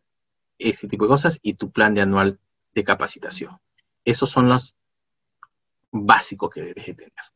Y si es de menos de 20 trabajadores, vas a tener un supervisor que va a manejar esto. Si es más de 20 trabajadores, esto va a estar dirigido y aprobado por tu comité de seguridad. Ya eso lo vamos a ver más adelante, pero muy buena pregunta en relación a lo que es este Hola Carrizales, porque esos documentos mínimos son los documentos que vas a tener que presentar. ¿no? Vas a tener que presentar y van a, en algunos casos tienen que ser visibles frente a cualquier inspección. ¿Ya? La experiencia previa, la capacidad y habilidad que debe poseer, dice, administrar un programa médico ocupacional que incluya a todos los trabajadores, o sea, todos los puestos laborales deben ser absorbidos. Asesorar a la dirección de la empresa y a los trabajadores en el campo médico. yo asesoro al, al trabajador, pero también debo asesorar a los, a los directivos indicándoles cuáles son los peligros y riesgos que están expuestos los trabajadores. ¿Ya? Conocer los informes médicos por accidentes de trabajo para poder tener un antecedente de esto. recomendar acciones sobre incapacidades laborales, ¿no? Sobre alguna situación de que el trabajador, que el trabajador no esté capacitado para realizar tal función vale decir, si es que hay la presentación e información de que una trabajadora está embarazada y que su puesto laboral pone en riesgo su estado gestacional, se va a recomendar el cambio de función laboral. Si un trabajador está con alguna enfermedad, no, no ocupacional, sino personal, ¿no? Estamos hablando de una enfermedad concomitante o una comorbilidad. Por ejemplo, en este caso de la pandemia, los médicos ocupacionales han recomendado quiénes van a hacer teletrabajo, quiénes son los que todavía no pueden regresar a la actividad laboral, ¿no? Bajo una normativa que es la 448 con sustento informal, en el cual que dice aquellas personas con más de 30 de IMC todavía no debe regresar al trabajo, con posibles problemas respiratorios no debe hacer trabajo presencial, ¿no? Con problemas cardiológicos tampoco. Entonces, ahí tiene sus, su tabla que dice la normativa y el médico tiene que recomendar que tales personas no van, ¿no? Porque son propensas a tener la enfermedad, ¿ya? Apoyar al departamento legal de la empresa al presentarse algún litigio laboral para sustentar, para sustentar el tema de factores de riesgos en salud. Hemos identificado los peligros y hemos evaluado los riesgos en base a las normativas legales vigentes. Recordar una empresa, como nos preguntó este Olga, nos dice, ¿cuáles son los requisitos mínimo documentarios para una pequeña empresa? Para todas las empresas hay requisitos mínimos, pero conforme hay mayores puestos de trabajo, mayores peligros, mayores cambios de rubros, hay ciertos rubros que te exigen mucha mayor documentación, mucha mayor documentación. Ahora, si yo soy una empresa pequeña, no soy una empresa minera, ¿no? Pero le voy a brindar servicios a esa empresa, tengo que ponerme a nivel de la evaluación de esa empresa. ¿Ya? Para poder entrar sin ningún problema, porque el médico ocupacional de esa empresa el área de seguridad de esa empresa nos va a exigir a nosotros un estándar, un estándar de acuerdo a lo que ellos manejan. Por eso es que muchas empresas eh, de terceros que brindan servicios de alimentación a empresas mineras, metalúrgicas, algunas de construcción civil grande, tienen estándares mucho más altos, mucho más altos que una empresa alimentaria a nivel común de de la, de la avenida o, del, llano, por llamarlo así. Entonces, ¿qué hicieron? préstame tu, tu plan de capacitación. Lo mandaron, pero lo trajeron porque su realidad es otra. Su realidad es en una compañía minera, no es en un colegio. Los riesgos en una minera y un colegio son distintos. Pero tú le pediste, ah, es solamente para el comedor, nada más. Entonces lo copiaste y no te y dijiste, no, acá hay controles muy caros, acá hay controles muy, muy altos. No lo voy a hacer. ¿Por qué? Porque te estás copiando de una realidad que no es la tuya. Por eso es importante saber en qué sector vamos a trabajar. ¿Ya? Tenemos análisis económico en las empresas. Es bueno leer para nosotros, ¿no? Esto está disponible en esta dirección. Ustedes lo pueden buscar el documento en PDF sin ningún problema. Nos habla y me interesó bastante este cuadrito. ¿Cómo yo puedo sustentarle a alguien, no? No sé si a ustedes les ha pasado que hemos querido algo y muchas veces papá le sustenta a la mamá cómo lograr tener tal cosa, o papá le sustenta a la mamá cómo hacerlo. Estamos hablando de un pequeño grupo familiar, pero en la empresa tenemos que sustentarle, decirle, la seguridad y salud en el trabajo, ¿no? Va si no hay la presencia de esto, va a haber bajas por enfermedades, va a haber invalidez o va a existir accidentes mortales. Entonces, si nosotros tenemos menos riesgos para la salud y la seguridad, mejores oportunidades para la rehabilitación. O sea, no vamos a tener bajas por enfermedad. Pero hemos mejor adaptado a los procesos del trabajo, personal más motivado, mejora de habilidades. Tener salud y seguridad, esto es lo positivo. Frente a lo negativo de no hacer caso a estas situaciones, puede haber estas situaciones. Y si tenemos a nuestro personal sano y seguro, va a haber un mejor rendimiento en la empresa. Va a haber menos interrupciones en el proceso de trabajo, menos reclamaciones por responsabilidades legales, obviamente. Entonces, al hacer un trabajo de prevención, al hacer un trabajo de prevención en seguridad y salud en el trabajo, vamos a darle un beneficio a la empresa y esto es un análisis económico. Cuando tú le dices rendimiento de la empresa, ya, a él le figura esta situación. ¿no? Entonces, si alguien se enferma, tienes, para mantener esto, vas a exigirle más a, menos trabajadores o vas a tener que contratar reemplazos. Y eso significa costos para ti. Mejor invertimos en prevención que invertir en accidentes o invertir en la recuperación de los trabajadores. Hay que invertir en la prevención. Es algo muy claro cuando decimos dentro de la parte laboral y lo que le decimos a las personas es lo siguiente. La mamá te compra una chompa. Una chompa por 20 soles, porque está cambiando el clima, porque está haciendo frío. Porque no te quiere que no te resfríes. Porque ella ya vio que llevarte al médico cuesta 20 soles. Comprarte la receta cuesta 20 soles más. Que faltara su trabajo por llevarte, atenderte, son 20 soles más. Ese día no le van a pagar.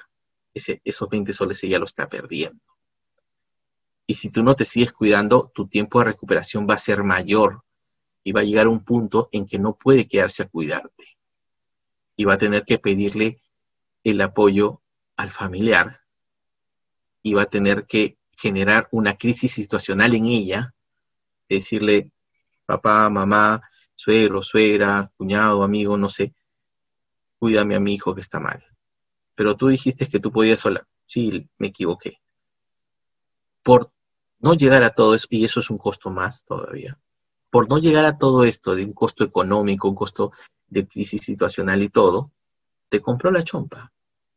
Ella invirtió en prevención para que tú no te enfermes, para que tú no tengas un proceso largo de recuperación y no generes mayores gastos. En un ejemplo tan simple. Ahora tenemos que eso maximizarlo y llevarlo a la empresa. Pero por eso es importante que nosotros empezamos, empecemos a conocer la realidad de la empresa. Empecemos a conocer cuáles, de repente no hay accidentes, de repente no hay este, descansos médicos, ¿no? De repente no hay, y estamos en un lugar perfecto. Pero siempre hay que informar, ver cuántas atenciones hay, cuántas presentaciones de descanso médico, no, hay que evaluar las tasas como hemos revisado. También acá hay otro, ¿no? La seguridad y salud en el trabajo, si no hay la presencia de estos, va a generar bajas por enfermedad, invalidez, accidentes mortales, va a generar este, costos que no se consideran, que son las compensaciones, los daños, las responsabilidades. Si no hay inversiones en acciones de gestión, la empresa, su rendimiento de la empresa va a disminuir su productividad, su eficiencia, su calidad, su imagen de la empresa va a verse afectada.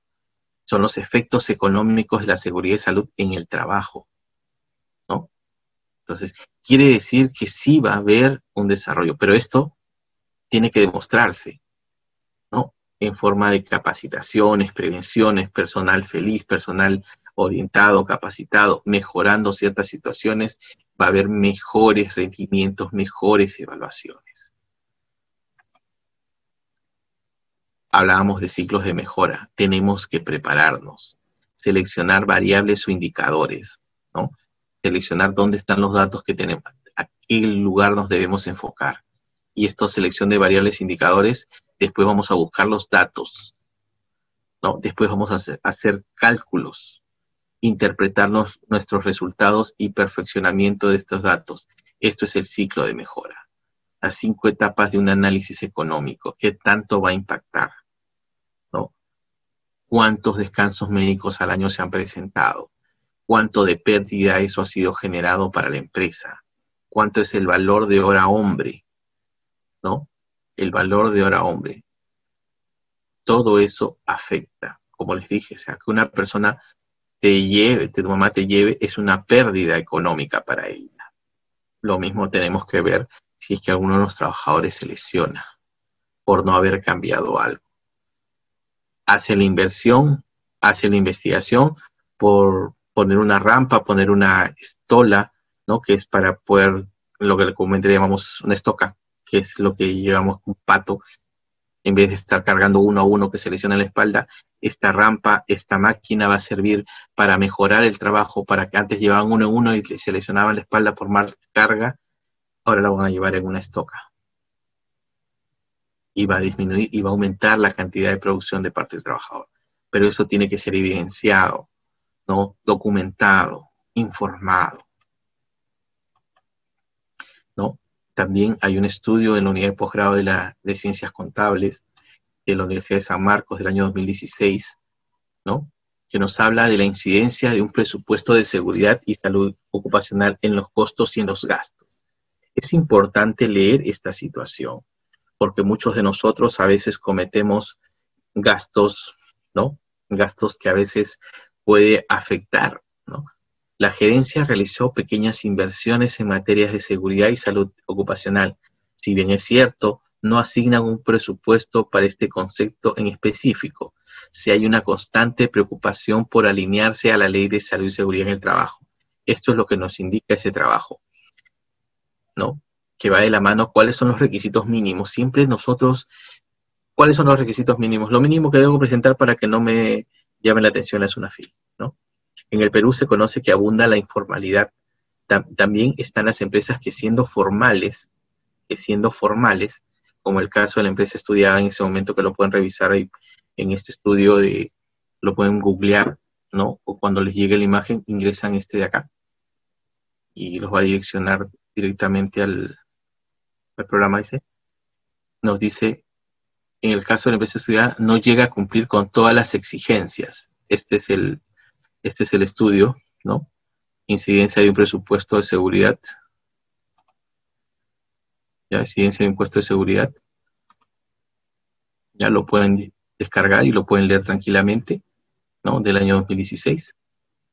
Es muy bonito, a mí me ha gustado, entonces este, por eso yo lo recomiendo que ustedes lo revisen. Siempre es importante tener otra perspectiva, ¿no? Dice, no llega a cumplir con todas las exigencias de salud y seguridad en las actividades laborales y solo toman algunas acciones cuando son observados por el Ministerio de Trabajo. Uno de los principales pasos que debe seguir la empresa es establecer una adecuada política de seguridad y salud en el trabajo, en el cual se evidencie el compromiso de la alta dirección en la toma de medidas preventivas para minimizar la probabilidad que ocurran accidentes y o enfermedades ocupacionales. Entonces, esto les va a ayudar a ustedes, esta perspectiva de, esta, de ese trabajo, para que ustedes más o menos vean qué cosa es lo que ella ha recopilado para poder llegar a esa situación. ¿no? Porque la inversión en salud, ¿qué pasa o qué hacer en caso, en qué hacer si el trabajador no quiere colaborar? Recordar que la normativa en salud y seguridad está indicado que el trabajador debe cumplir con todo lo encomendado en el reglamento interno de seguridad y lo que está al no incumplirlo es una falta grave. Eso está incluido en el reglamento y en el reglamento de la empresa menciona que todo lo relacionado a seguridad es obligatorio. Es obligatorio. Y, y es aplicable el tema de sanción grave o falta grave, lo cual puede llegar hasta ciertos puntos como motivo de despido pero evitándonos ese tema administrativo, siempre es recomendar llamada de atención, memorándum, informe de administración, para que todo esté documentado y no tengan problemas el trabajador. Porque hay no solamente lo que mencionamos acá en el tema de una falta de responsabilidad por parte del empleador, sino también existe en el Perú una falta de cultura en seguridad y salud. Y eso es lo que vemos con un simple hecho, el uso de las mascarillas hoy por hoy. Muchas personas no respetan el uso correcto de las mascarillas, no respetan el distanciamiento social. Ves a parejas abrazándose en la vía pública, hoy por hoy. Uno, uno con mascarilla, el otro sin mascarilla. Vemos este, irresponsabilidades sociales y que ha causado la muerte por estar en, reuniones, ¿no? Por abuso de bebidas alcohólicas, ¿no? Entonces tenemos que ver bien con esa consideración. Nosotros debemos buscar primero la orientación, capacitación, concientización, y para eso tienes el apoyo de tus órganos sindicales, que todo trabajador tiene que decir, Néstor, no se realiza la acción así. Néstor, ponte el equipo de protección personal que te han dado. Néstor, haz esto. El protocolo, los protocolos, ojo, que para esto debe existir protocolos y procedimientos para cada una de las actividades que nosotros desempeñamos. ¿no? Para cada una de las actividades que desempeñamos. Y si no existen, es responsabilidad del área de seguridad y salud generarlas, basadas en la normativa, obviamente basadas en la normativa. ¿Ya? Entonces, esto, es, esto se da cuando el trabajador firma un contrato y se le capacita para cada actividad, él debe de cumplir esas actividades. ¿Ya? De acuerdo a los protocolos que ya han sido establecidos, firmados y aprobados, ya sea por el supervisor de seguridad en menos de 20 trabajadores y más de 20 trabajadores aprobados por el Comité de Seguridad y Salud en el Trabajo. En conclusión, la normativa es clara relacionada al sistema de gestión de seguridad y salud en el trabajo. Las competencias que debe contar los profesionales a cargo de seguridad y salud en el trabajo. El sistema de gestión es multisectorial.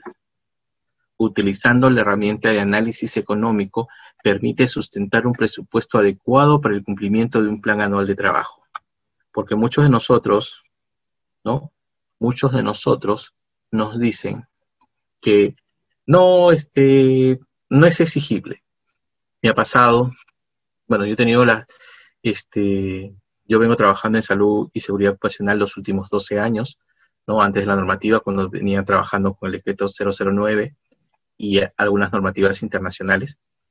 Pero algunos de mis colegas este, llegas a un trabajo, una institución que te contratan como miembro o parte del equipo de seguridad y salud en el trabajo y te dice, ya, preséntame tu plan de trabajo. La empresa no te dice cuáles son tus labores o funciones. Simplemente te dice, preséntame tu plan de trabajo. Entonces tú tienes que saber y presentarle un plan de trabajo. Y aprovechando esta situación, tienes que decirle cuáles son las actividades y cuáles son los presupuestos que tienes que hacer incluidos no está consciente ni siquiera cuáles son los equipos de protección personal que debe tener el área de seguridad. Y eso, la normativa actual para el tema de plan COVID, la 448, establece, incluye las, los equipos de protección personal. ¿Qué profesional debe ser de acuerdo a la cantidad de trabajadores que tenemos? Hay normativas que son mucho más claras que otras. Por eso es importante nosotros esta revisión. Cuando hablábamos de primacía de la realidad, ¿no? Damos una recomendación, la realidad y la recomendación. Sin embargo, el desinterés y falta de cultura de seguridad de empresarios peruanos que solo buscan el cumplimiento mínimo de la ley, anteponiendo la operativa y la producción antes que la seguridad y la salud de los trabajadores, es ahí donde los encargados del sistema de gestión deben poner énfasis en la utilización de herramientas para lograr concientizar a los líderes en base a información puntual y oportuna. Hay que recordar que no importando que seamos este, un supervisor de seguridad, yo me he desempeñado como tal en una empresa alimentaria, entonces ahí le tienes que informar al gerente, al administrador, cuáles son las las condiciones que deben de cumplir, cuáles son las herramientas que deben hacer, ¿no? Se han identificado peligros y que tienen que haber acciones de control frente a esos peligros y debes hacerle seguimiento para esa situación. Y si hay trabajadores que son reunentes al cambio, que no quieren cambiar, que no quieren tener su reunión de cinco minutos, que no quieren utilizar equipos de protección personal, primero concientizarnos que son los lo que hablamos al inicio de todo esto, que son los actos, porque vamos a encontrar que esto es un acto inseguro. Tenemos que generar las acciones correctivas para el trabajador. Quizás sea desconocimiento, quizás tenemos que capacitarlo, pedir que si de repente él muestra ser reunente a no realizar la actividad, a no hacer como se está pidiendo, solicitarle que el líder de una capacitación general específica de ese procedimiento nuevo y que todos firmen ese proceso y ese es el compromiso que nos dice que todos deben de cumplirlo. Los procedimientos pueden ser propensos al cambio, a la mejora, si es que no hemos visto esto, si se ve necesario ese cambio. Entonces, es importante para todos nosotros poder hacer ese tipo de cosas. Ustedes pueden encontrar las referencias de todos los documentos realizados el día de hoy, ¿no? Este, en esta pequeña presentación, ¿no? Lo que nos habla, eh, esto es en relación a salud ocupacional, porque de repente muchos de ustedes son personal de salud, no son enfermeros, son técnicos, son personal que van a apoyar al, al sector de salud ocupacional, ¿no? O de repente también vamos a apoyar como supervisor de seguridad, como inspector de seguridad, ¿no? Supervisor al área de seguridad, ¿no? Pero siempre es importante qué hacer en esta situación, qué hacer, cómo mencionar, cómo hacerlo. Entonces, esta les va a servir como referencia para que ustedes lean y profundicen, porque no solamente es la 29783, son otros estudios en los cuales pueden ayudarnos nosotros no somos las primeras personas que hemos estado expuestos a esto. ¿Ya?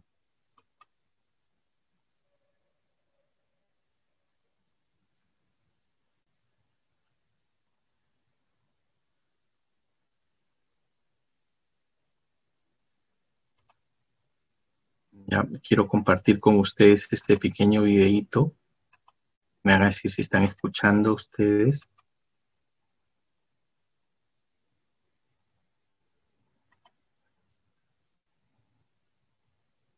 Me dicen si pueden escuchar. Vamos a ver si cargo un ratito.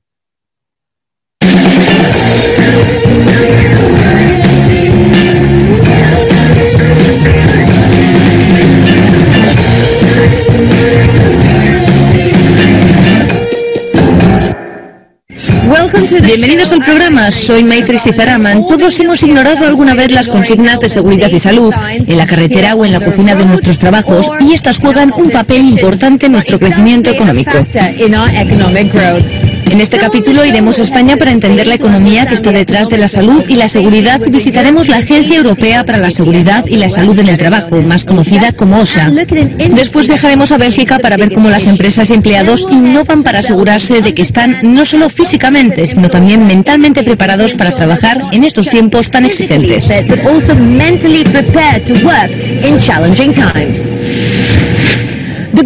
El objetivo es evitar que dejemos el trabajo o cojamos bajas por enfermedad, por cuestiones laborales. La salud y seguridad laboral aborda cuestiones sobre cómo adaptar el trabajo a nuestras capacidades y habilidades y cómo cuidar nuestras necesidades físicas, que incluyen la del bienestar laboral. ¿Qué tiene esto que ver con economía y crecimiento? Descubrámoslo.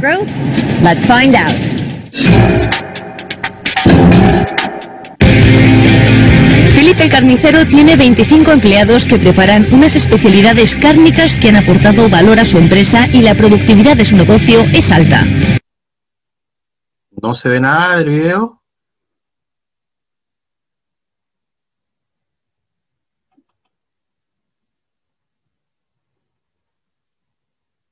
Chicos, ¿no se ve nada? Ya. Cuanto más vende, más impuestos paga, contribuyendo a un mayor crecimiento económico de su país.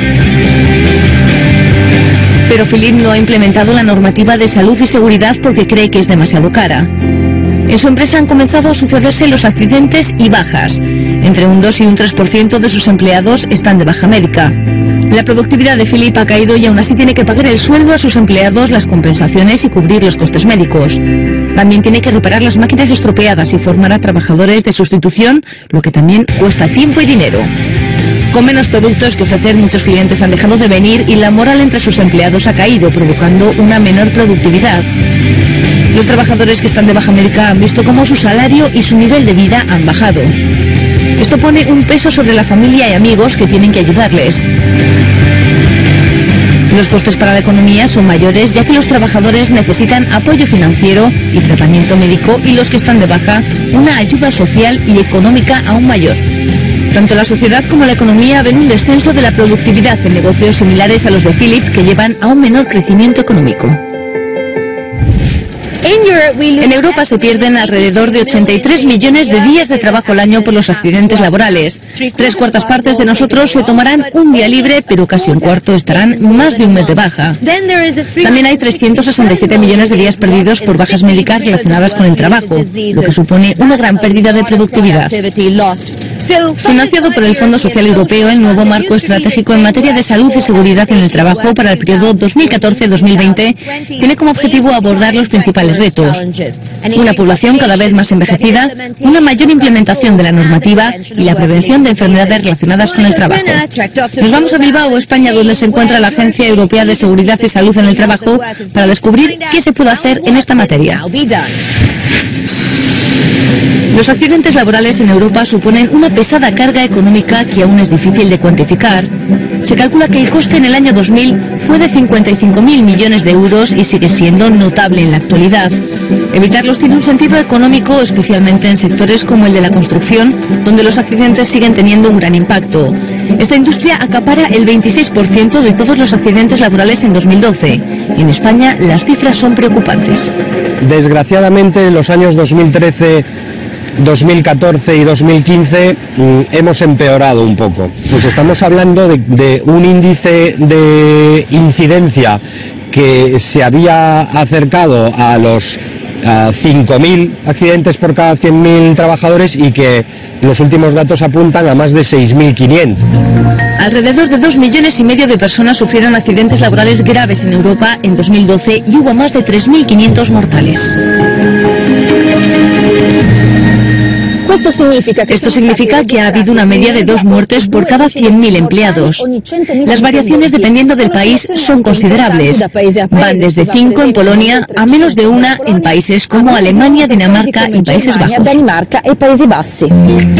Varios estudios han probado que los accidentes laborales y las enfermedades relacionadas con el trabajo pueden afectar al resultado económico de las empresas y también a la economía de un país. Nos encontramos con la directora de la Agencia Europea para la Seguridad y Salud en el Trabajo en Bilbao, Muchos de los países europeos tienen su propia metodología para calcular los costes. Por ejemplo, Alemania. Su cálculo es que la falta de cuidado en la seguridad y salud laboral conlleva pérdidas de cerca de 90.000 millones de euros, lo que significa más o menos un 3% del PIB.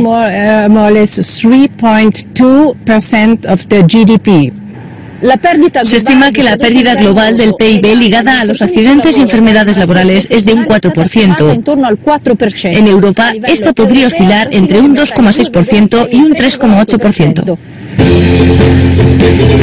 Los estudios demuestran que la salud y seguridad laboral no tendría que verse simplemente como un coste. Invertir un euro en bienestar en el trabajo puede generar un retorno de 2,2 euros. En Bilbao, esta obra está supervisada por la empresa pública Visesa. La responsable territorial de seguridad y salud nos explica cuáles son los beneficios de invertir en prevención. Para esta obra, los costes estimados en seguridad y salud son de unos 238.900 euros.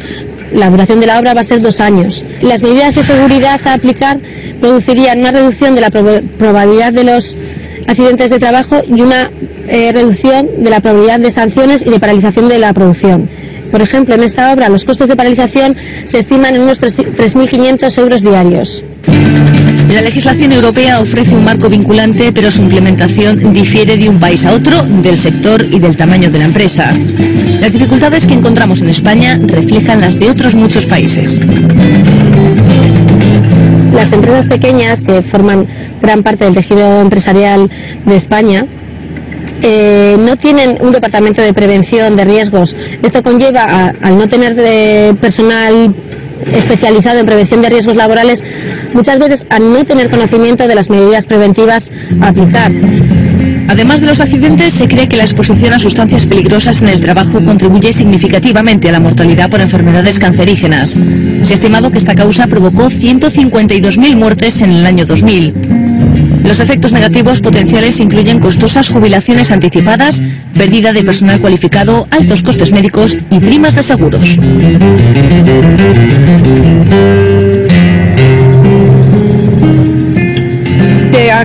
Se calcula que el cáncer ocupacional supone casi un 1% del PIB en el Reino Unido.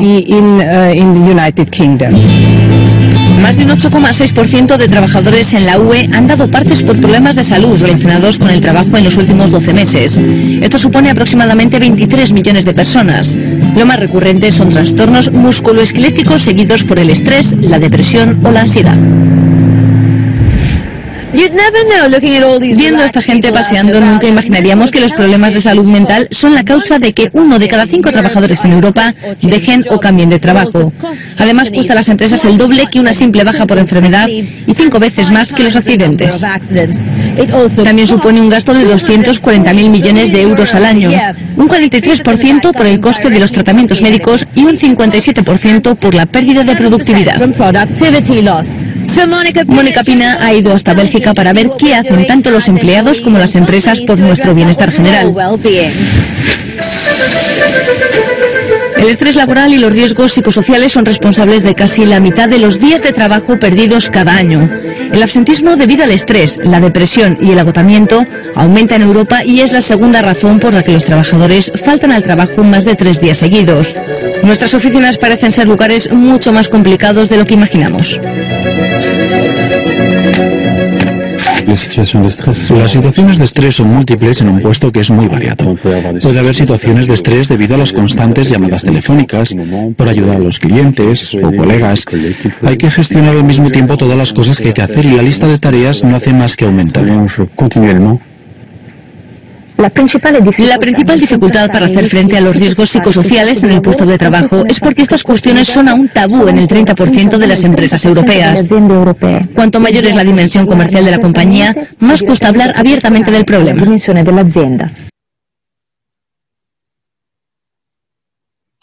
Chicos, chicos, terminemos de ver esto. Nosotros tenemos que dar lo siguiente cuando nosotros este, identificamos, primero, ya les he dicho, los costos, cuántas personas enfermas hay, cuántas este, atenciones hay, cuántos cambios de puesto laboral hay. esto nos va a afectar a nosotros y cada uno de nuestros puestos laborales. Esa información se tiene que producir en temas de costo para poder sustentar nuestros beneficios. Este video les va a ayudar a ustedes para más o menos que tengan una idea con relación a los porcentajes que nosotros vamos a mantener. ¿Ya? Eso sería todo el día de hoy, ¿ya? Para que puedan ustedes estar manejando la información de forma completa. Ahí tienen al final del, del PPT el link donde pueden volver a ver este video completo para que ustedes puedan seguir revisando las cosas. ¿Ya? Bueno, ha sido un gusto conversar con ustedes el día de hoy. Ya, nos estamos viendo la próxima semana.